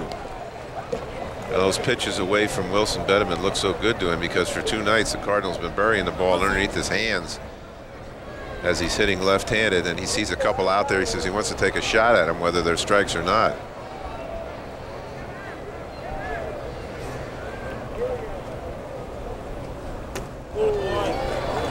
Two and two. There is Chipper. And we'll bring you up to date with what's happened in this game, not only in terms of scoring, but also our Braves in-game box score in a moment. Coming a 2-2 to Betemit.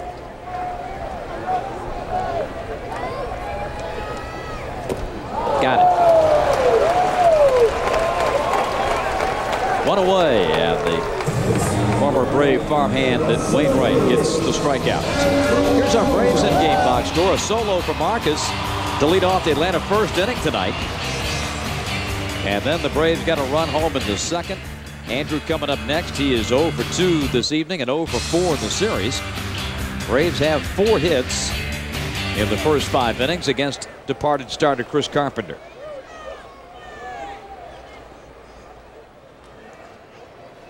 Andruw's hit two ground balls in the game. One to short, one to second. And takes this one low. We talked about Wainwright getting traded away. And that came in December of 2003 when the Braves sent he and Ray King and Jason Marquis over to the Cardinals J.D. Drew and Eli Marrero. You know, I was just thinking too that tonight we have Wainwright who's 6'7", replacing Carpenter who's 6'6", and they both have straight downer curveballs. I wonder if the hitters go up there and say, "Hey, that looks the same."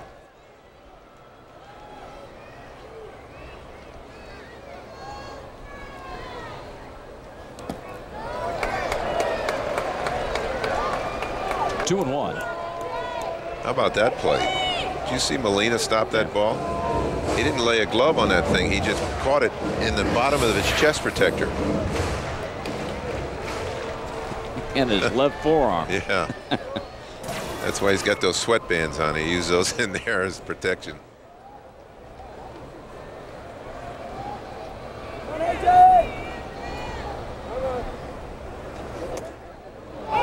Breaking ball strike, two and two. Renteria led off the sixth inning with a walk. Betemit struck out a moment ago. Now Andruw even on the count. He's just one for 15 on the homestand.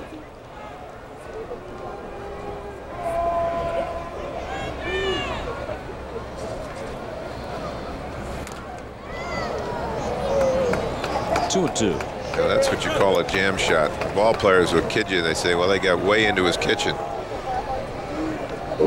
He had just backed away and taken a big roundhouse curveball, and this was a fastball running right in on his hands. I don't even know how he got the bat on this one.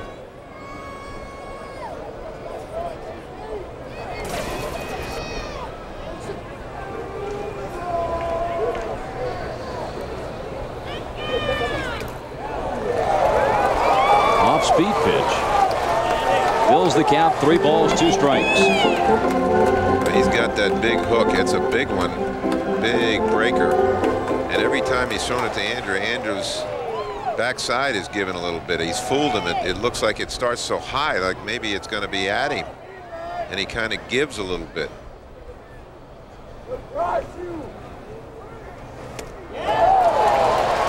Back-to-back strikeouts for Adam Wainwright.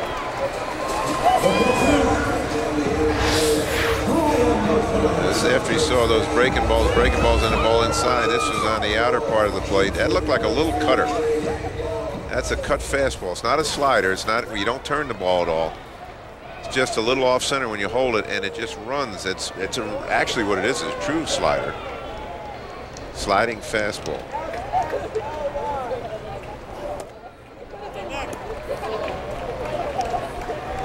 One and nothing on McCann.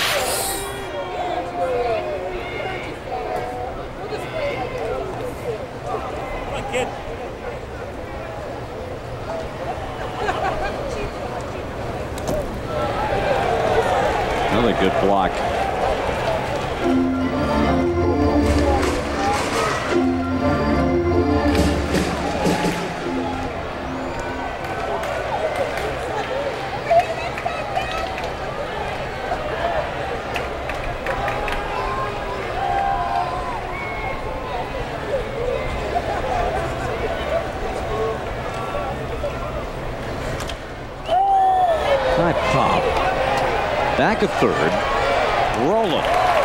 Will squeeze out number three. That's it for Atlanta in the sixth inning. 6-2 Cardinals and more greetings from overseas.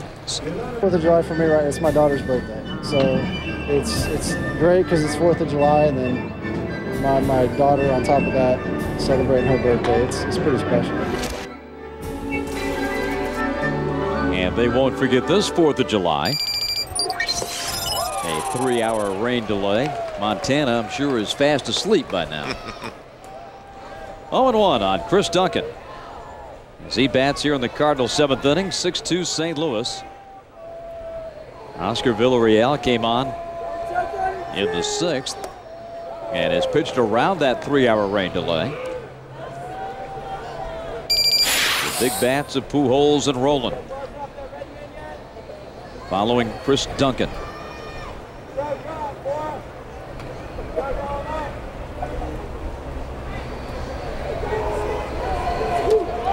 Cardinals trying to get back on the winning track tonight after losing the series opener here last night. Redbirds have lost 11 of 13. They're leading the Central down to a game coming into this holiday. Cincinnati lost what seems like about a week ago in Milwaukee this afternoon. Here's a swing and a high pop. Will it stay in for Betemit? Foul strike. Duncan at 2 and 2. For every Braves run scored in tonight's game, Safe Auto Insurance donates $50 to the Braves Foundation. Safe Auto Insurance, 1 800 Safe Auto, encourages you to get home safe.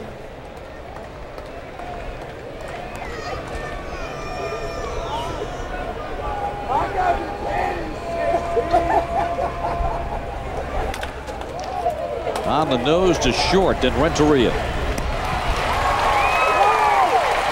One up, one down in the St. Louis seventh. And here comes Albert Pujols. Last night hit his 28th home run. He's hit homers Sunday and Monday and came to the park nine for his last 15. Cardinal fans getting another photo op as Pujols steps in. He's walked, hit one to the warning track, and a fly ball to right.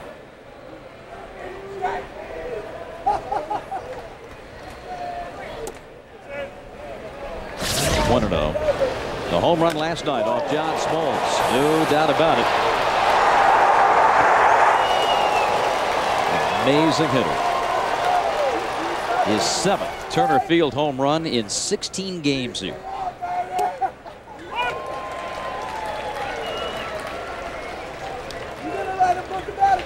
Some you don't see very often. You'll see Brian McCann drop a strike. Used to be a little game I play with myself at behind the plate and make sure I didn't drop any pitches in the entire game. Now, Brian McCann has such good hands. He doesn't drop pitches very often, especially not strikes.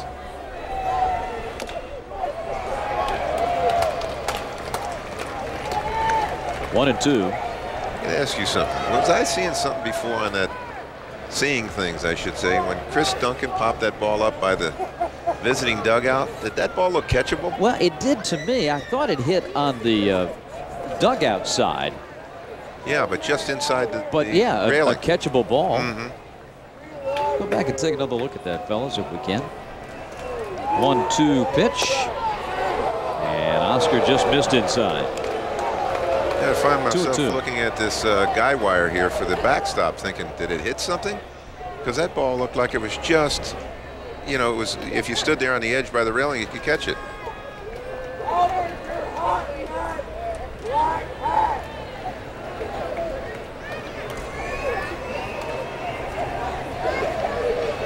Two-two. Got him. Pujols with a swing and a miss. All right, we have found it. Our guys at tape are outstanding. They don't miss a trick. Now Betemit comes over. And let's see where this one hits.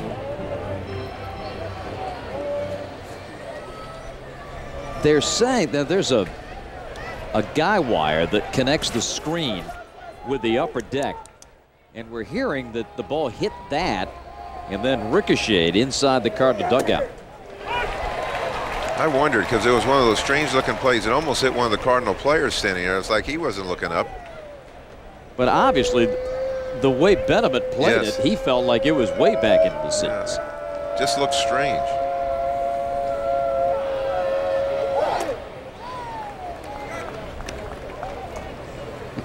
That is a bad feeling, though. You're sitting here saying, did I see that? no, it's, What really happened? You expect Rod Serling to pop out of the dugout Yes. at any time.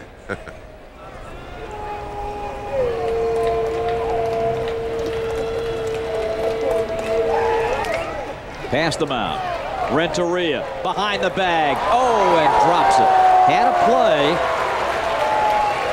And it will go as a base hit for Scott Rolen.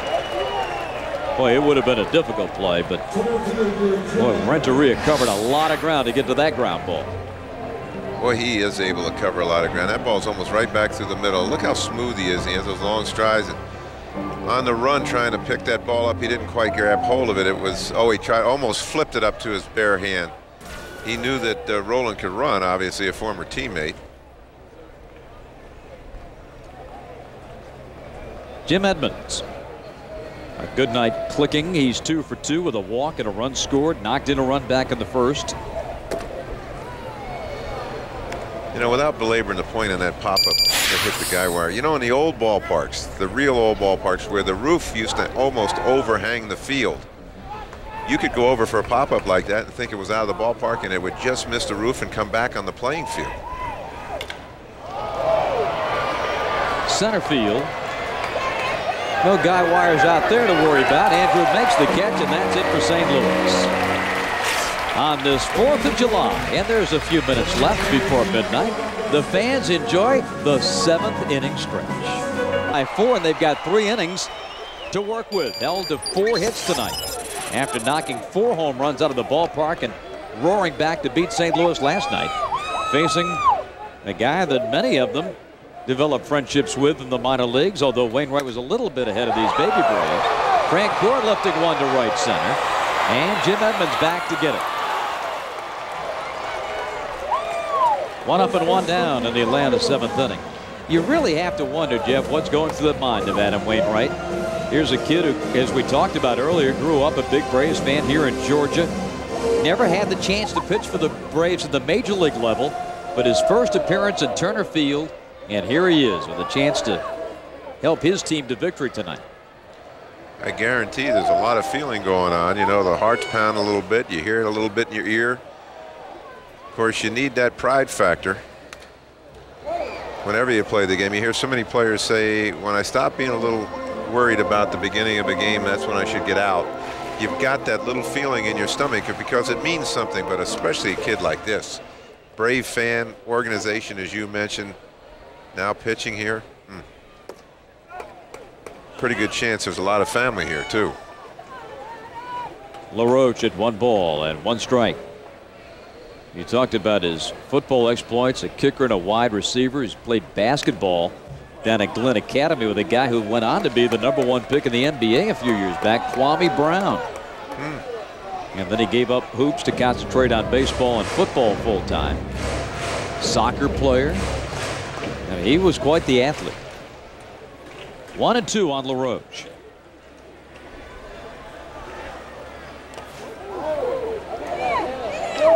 You know, I was also thinking, we had been talking during this series about the two outstanding center fielders. When you sit in this booth and watch out at this game, and there's a ball hit to center field, both center fielders are on the move before the ball is barely off the bat. That's what makes them so good. That first step quickness, they're already on the go. Inside, three and two. And we welcome you to our coverage of the 5th of July.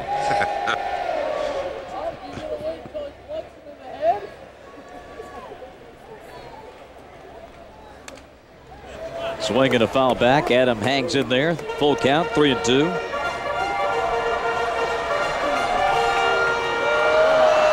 How about these fans hanging in there and you at home? Three hour rain delay. Seeing if the Braves can come from behind for a second straight night. Up and in, ball four. Second walk for Adam Wainwright. Marcus Giles homered for Atlanta. Braves have not had a hit since the third inning. Encarnacion, a two-run home run monster to center field off John Thomson. And a two-hour, 50-minute rain delay in the top of the sixth inning.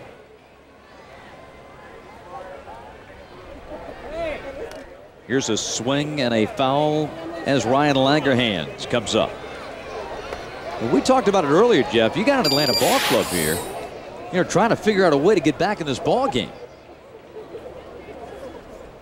They have been stymied here by Wainwright. As we showed you, just four hits tonight and none since the third inning, and that was the double by Renteria. If you remember that far back. I often said I don't remember what happened yesterday, but remember 30 years ago. Well, yesterday was the 4th of July. I think I remember that. 0-2 to Langerhans.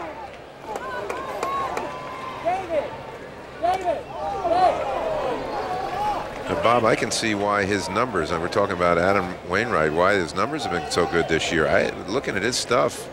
He's got that good curveball and at six foot seven, he's got that loose arm when the ball seems to uh, it's kind of tough to pick up. That's what happens with real big pitchers. There's so many arms and legs flying at you, you don't see the ball readily. Two and two. Pete Orr has come out on deck to pinch it for Villarreal.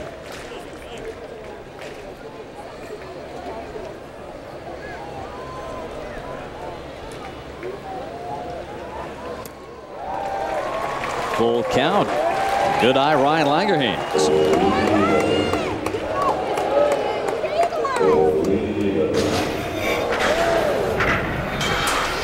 Rolen, one of three St. Louis All-Stars, headed to Pittsburgh next week. All the coverage on Fox. The payoff. And we'll crank him again. LaRoche at first and one away. Say the Braves can string something together. He'll get this crowd, what's left of it, back into this game. Yeah, you're right. And what it takes is base runners. And with this walk with Adam on at first base, base hit here would get things rolling. And a swing and a miss for strike three. Third strikeout for Wainwright. Boy, he's impressive.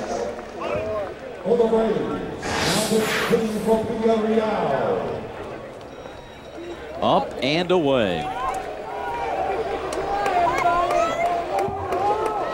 You can see there was a tail on that ball. That ball kind of tailed away from it. It wasn't a, a rocket. I mean, 91 miles an hour is pretty pert. There are guys throwing a lot harder than that, but that had action. Pete Orr pinch hitting for Villarreal. The attendance tonight was announced at 47,514.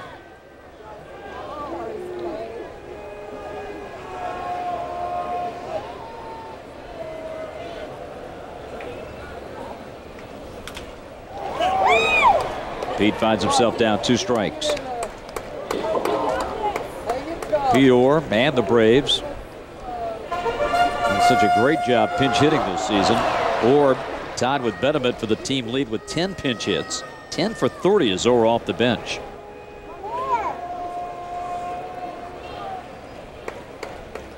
The 0 2.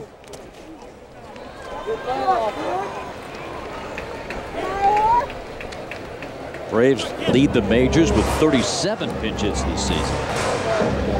Hitting 282 in pinch hitting.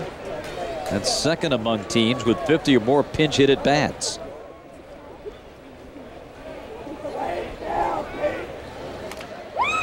Just a number. And Orr will get another chance. One and two. Pete hit the ball right off the end of the bat. Some of these bats are cupped in the end, and that so is his. And it hits off the end of that, and you're never sure what kind of spin you're going to get after you hit off the end of the bat. Pete decided I better get going, even though it started pretty foul, pretty much foul.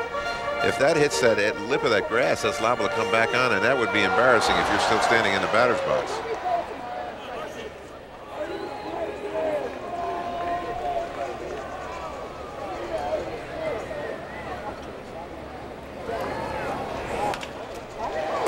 Right at Rolen. On to first, and the Braves are out in the seventh inning. Two innings left at Turner Field. Wainwright and the Cardinals up 6-2. Top half of inning eight. New pitcher for Atlanta. This is the rookie Kevin Barry, the right-hander, 27 years old, who made his major league debut last week in Yankee Stadium. And had three scoreless innings. Gave up two hits, one walk, and one strikeout. And that strikeout was right there, Jason Giambi. Oh, what a thrill for Kevin Barry to make that big league debut. And uh, really pitched rather well once he settled down and uh, pitched that game. And then when Reitsma was activated Friday, Kevin went back to the big leagues. Chris gets hurt again with the elbow, and it looks like he may be done for quite some time. Surgery certainly for Reitsma a possibility. And then Barry was brought back to the big leagues and now makes his second major league appearance and his first here at home facing Juan Encarnacion.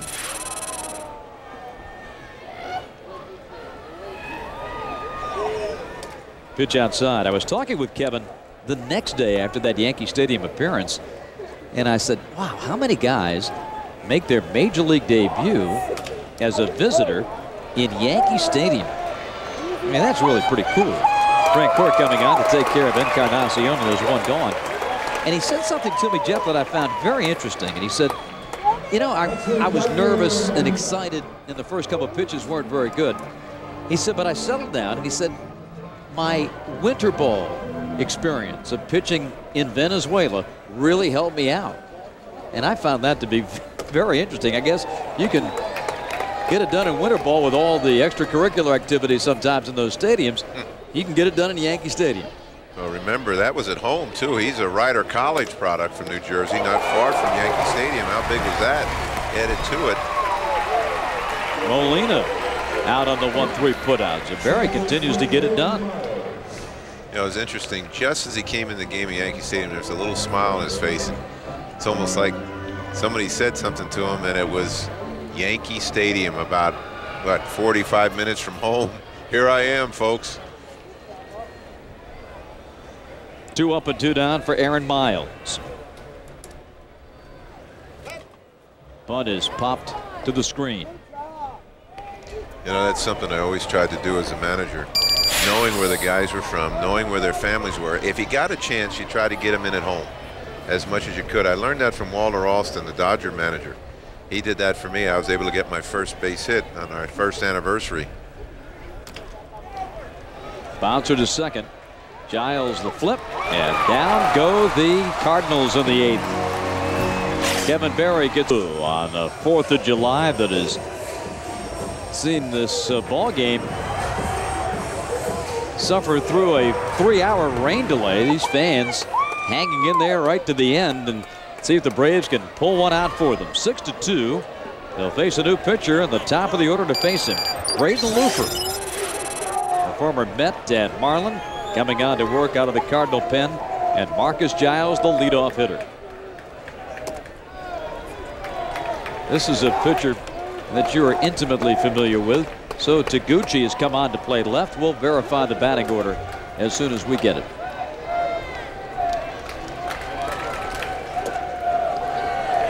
A little bit low, one ball, no strikes. A 2 0 rather. Numbers on Looper. 36th appearance with a 4.08 ERA. Taguchi will bat ninth, and Looper second on the double switch. You know, I was anxious to see how Looper threw this year. He had surgery last year at the end of the year with the Mets. He was really a guy who was trying to become the closer with the Marlins in 2002 after the closer Alfonseca was traded over the Cubs. We tried to rebuild the bullpen. And Loop really struggled the first half of the season. But the second half of the season, he said to me about the All-Star break, he said, you still keep me in mind in case we have a need? I said, yeah, because our other closer, Nunez, had saved 20 games. By the end of the season, he was the closer, and I wanted to see how he threw, and he just popped one at 93. There's always a guy really looking for a, an out type of breaking ball. He didn't have a real good breaking ball.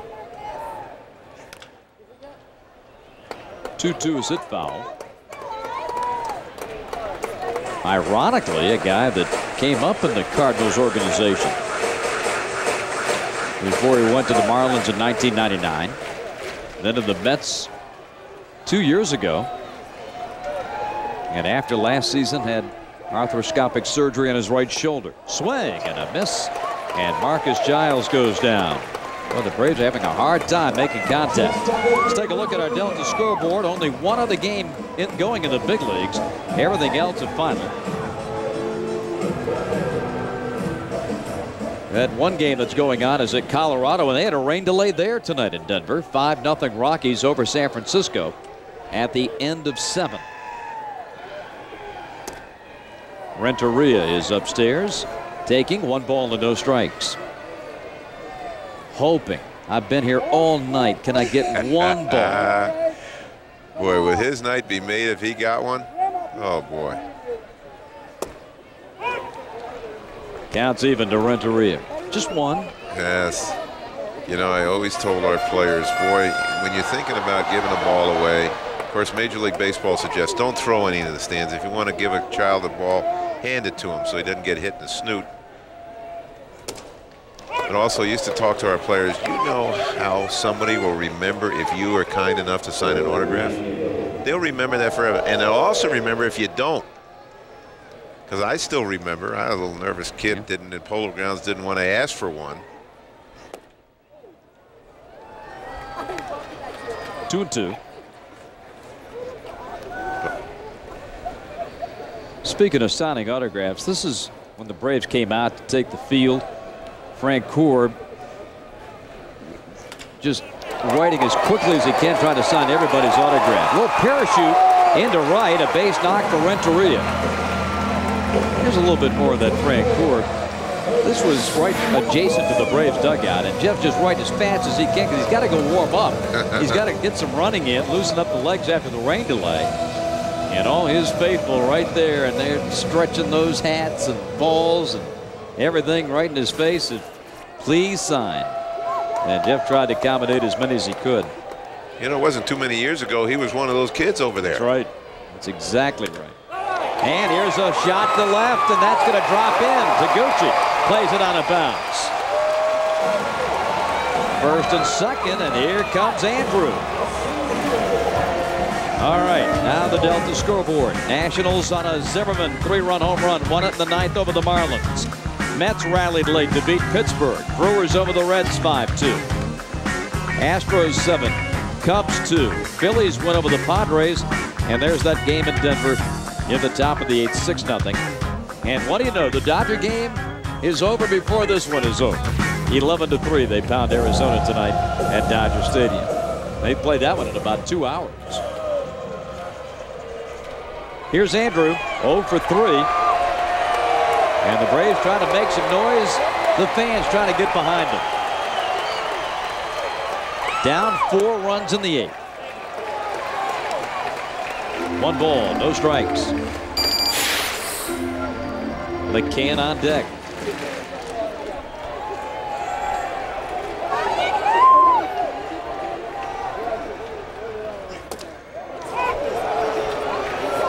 One ball, one strike.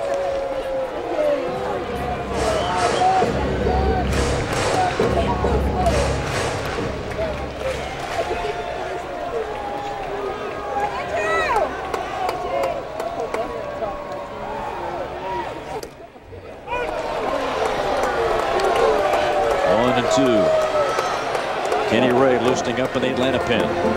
It's interesting to see Andruw take those two fastballs right down the middle might mean that he's sitting on a breaking ball. Good backhand stop by Molina, two and two.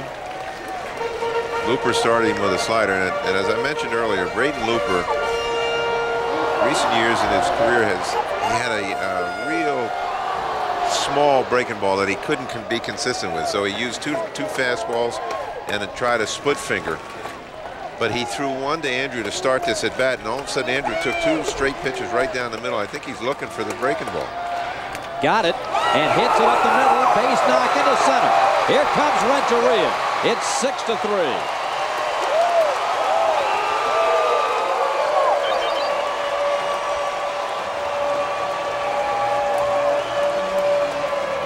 He got it. He got the little hanger. He didn't try to do too much with it. He's trying to fight it to stay in and not bail out like he was bailing out on the big curveball from Wainwright. But But he was looking for it and got it, hit it right back through the middle.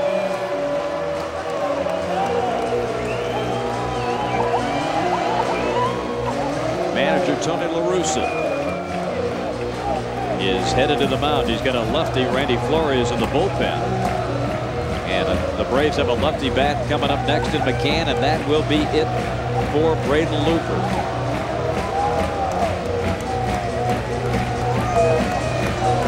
6-3 now as the Braves do get the tying run to the plate here in the bottom half of the eighth inning.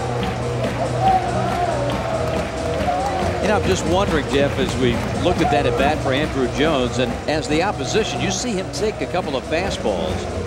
As a catcher, would you have it in your mind, wait a minute, you think he's sitting on a curve and opt not to throw one there? Well, you hope he's not decoying you, you know, figuring he sees two and then he goes for the next one. It looked like Andruw, he had pulled out on the big breaking ball for Wainwright. And in fact, even before that from Carpenter, he was having a little trouble staying in. He was fighting to stay in, so he was taking the fastball and looking for something out over, and he got it.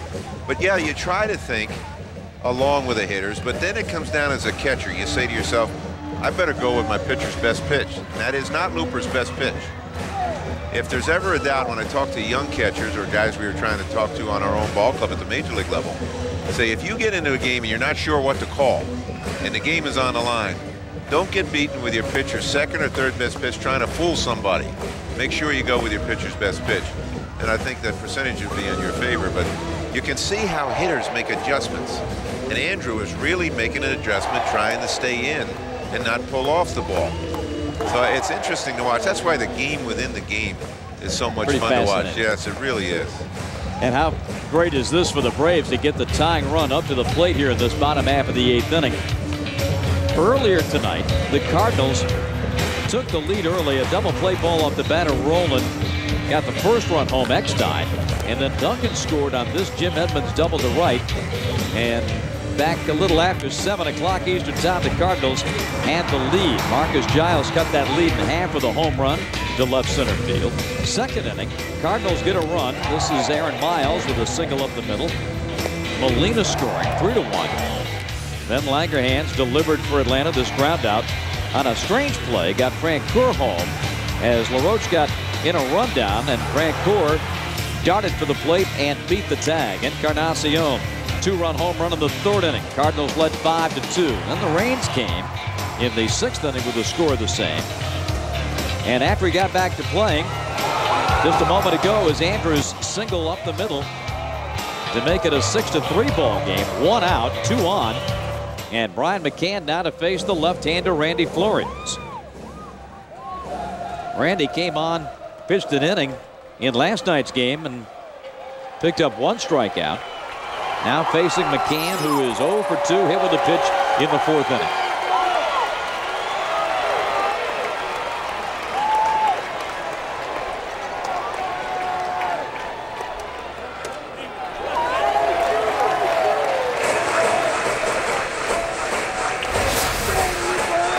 The numbers for Flores.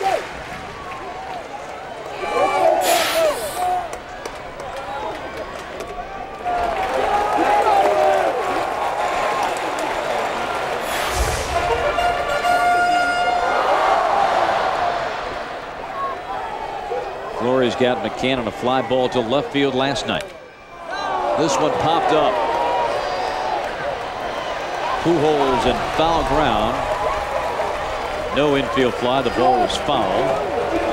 McCann is out. And Francoeur is coming up.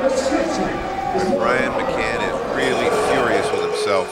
He had set that count up. He got it into a hitter's count, taking those pitches, leading up to the two ball, no strike count. He looked for a fastball, but he got it. It was a little too far inside, and it jammed him. He is really furious. This kid has a great idea about hitting.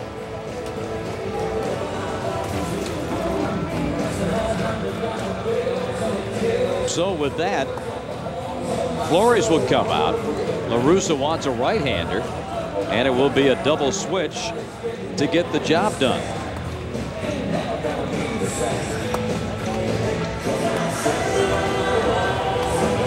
So Flores exits, getting his job done, popping up the left-handed batting McCann. Francoeur coming up when we come back. 6-3 Cardinals, two out, two on. This is Jason Isringhausen, the Cardinal closer, leading save man in the National League with 24. As he comes on to make his 35th appearance, it's a double switch for St. Louis. Isringhausen will bat in the eighth spot, and Hector Luna comes into play second base, and he will bat second.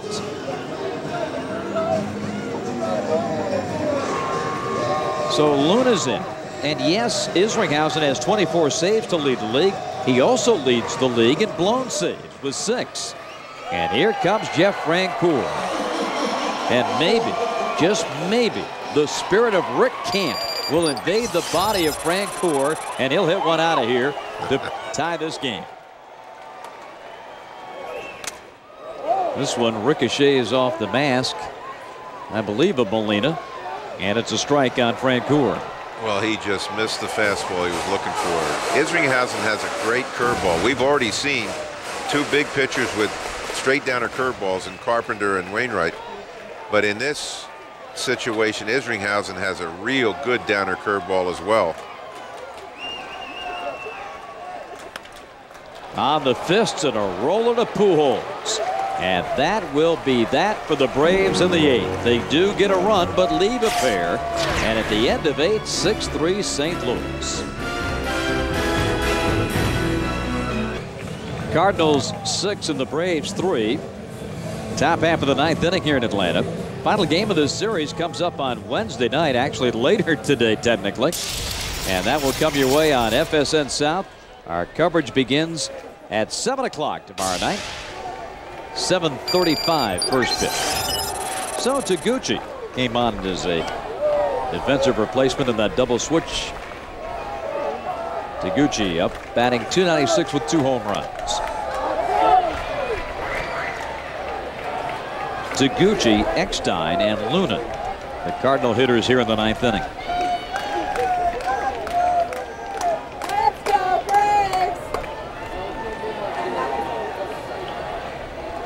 Kevin Barry's second inning of work for Atlanta. Got the Cardinals one, two, three in the eighth.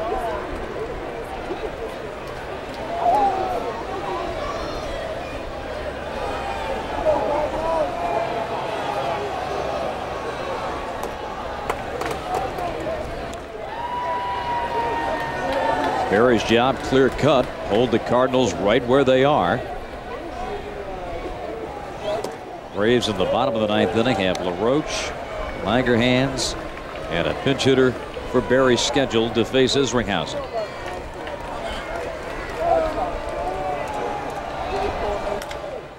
Taguchi sending one high in the air to left field. Langerhans getting underneath it. And that will bring up David Eckstein. Four in a row retired by Kevin.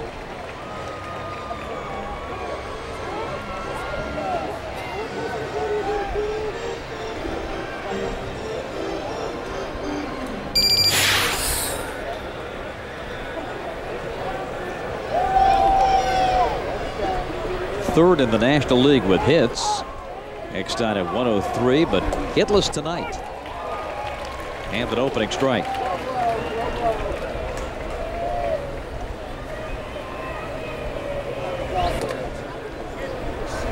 Amazing. You said hitless tonight, and yet you feel that this guy contributed, not because he just is an excellent in the middle of the infield shortstop, but he walked his first time up and scored. one and two.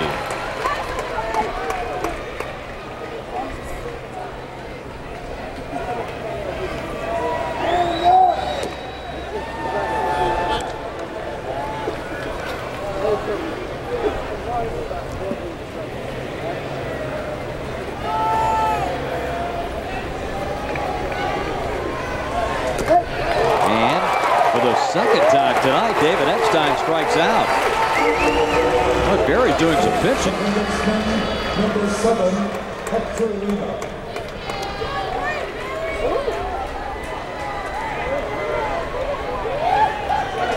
Luna coming up to bat.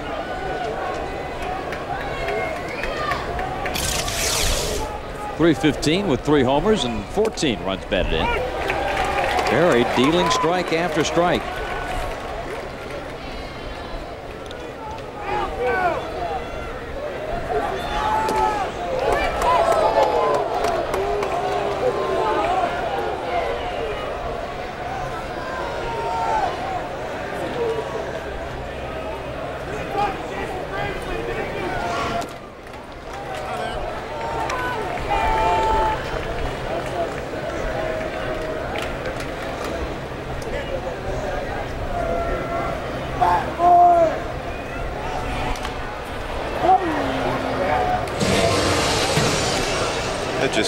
Were talking about how long a day it can be with a rain delay like that. And you talk about the players. How about the umpires? You know, these guys are on their feet most of the time. Then they have a three-hour delay. This Jim Reynolds has done a terrific job tonight. Very consistent. Blue Chief Tim Welke down at first base. Swing and a miss. Barry strikes out Luna, and he retires all six Cardinals that he faces in the ninth. Braves need three to tie, four to win as we go to the bottom of the ninth become 4th of July tradition in Atlanta. Braves home game, big rain delay, and maybe some magic and extra innings as we play on practically 20 minutes to one here Eastern time. Bottom of the ninth. Braves need three to tie. And Adam LaRoche to get it going against Jason Isringhausen. Left field and Taguchi. One gone.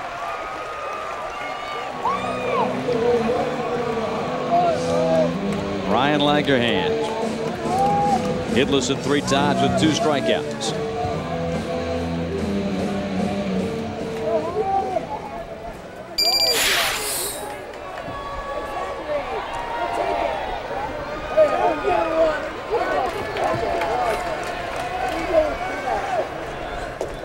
We've mentioned tomorrow night the coverage on FSN South.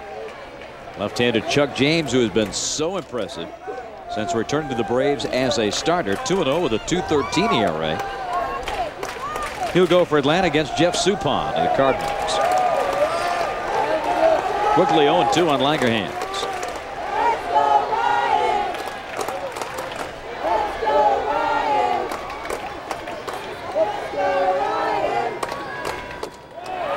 And a three-pitch strikeout. That's what you don't want to get into against Isringhausen. You don't want to get two strikes on you in a hurry because he'll come back with that big downer curveball. You know, that's the pitch, the curveball we've seen so much tonight uh, from the Cardinals. That's a pitch a couple years ago you and I were talking about, Bob, that the umpires, when the strike zone got smaller, they were not calling it for strikes, and a lot of guys had to go away from it. Tonight we've seen three of the biggest curveballs you want to see from pitchers, all on the same Cardinal staff. Matt Diaz to pinch hit.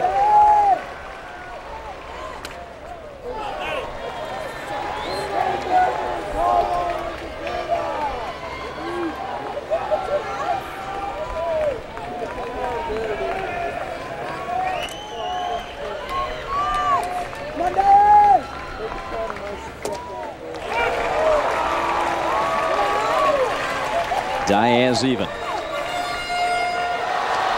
Matt, a terrific pinch hitter in his own right. 333 overall and 7 for 22 as a pinch hitter.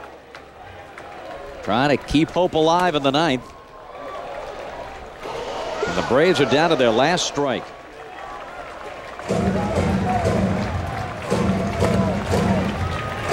Cardinal fans and one from the University of Dayton watching here as Diaz gets back into the box.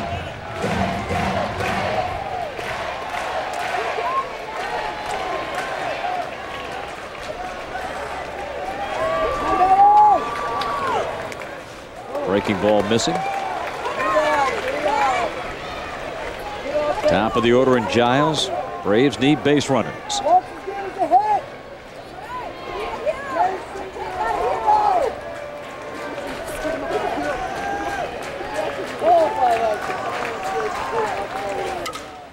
Busted bat pop. Right field line. This is Pujols to squeeze the out. And with it, the victory for St. Louis. Jason Isringhausen, his 25th save And the Cardinals have even this series at a game apiece. The Cardinals win it by a 6-3 final score out hitting Atlanta tonight 9-7. Chris Carpenter gets the win. Jason Isringhausen gets the same. And Chris Carpenter is our Home Depot player of the game. And not vintage Chris Carpenter by any means, Jeff. But you look at that final pitching line through all the difficulty. Four hits allowed, two runs, only one walk. Yeah, really did a nice job. The problem with the Braves have had against the Cardinals the last two nights, Cardinals jumped out right away with two runs in the first inning, added on in the second with another one in the third with two more. That hurts. That that really hurts, and that helps the pitching staff. So in other words, Carpenter has done a nice did a nice job with that lead. So the series is all even, and now you play for the rubber match tomorrow night with the left-hander going for Atlanta in Chuck James, and this is a Cardinal team that you can tell with all their right-handed punch with Pujols and Rolen, etc., they can be a very formidable foe for a left-handed pitcher. Yeah, they can, but they also don't know him. That's the other thing. Chuck James is a sneaky fastball up in the zone, and he's got the good curveball, and he's he hides the ball a little bit. It'll be interesting to see. He's done an excellent job against two clubs that can swing the bat pretty well coming into this. So it'll be an interesting game, especially with a with the Braves going for a series win again. Yes, and trying to parlay that series victory against the Orioles and get some momentum that they can take into the All-Star break with Cincinnati looming on the horizon. A four-game series with the Reds begins here on Thursday night. Our final score this evening, the Cardinals six and the Braves three. Action tomorrow night on FSN South, Braves and Cardinals here at Turner Field. Our coverage begins at 7 p.m. 7.30 game tomorrow night. We thank our crew for a long night. Great work, everybody. And we thank you for staying with us all night on Turner South to enjoy it. For Jeff Torborg, this is Bob Rathbun saying so long from Turner Field in Atlanta. Cardinals win it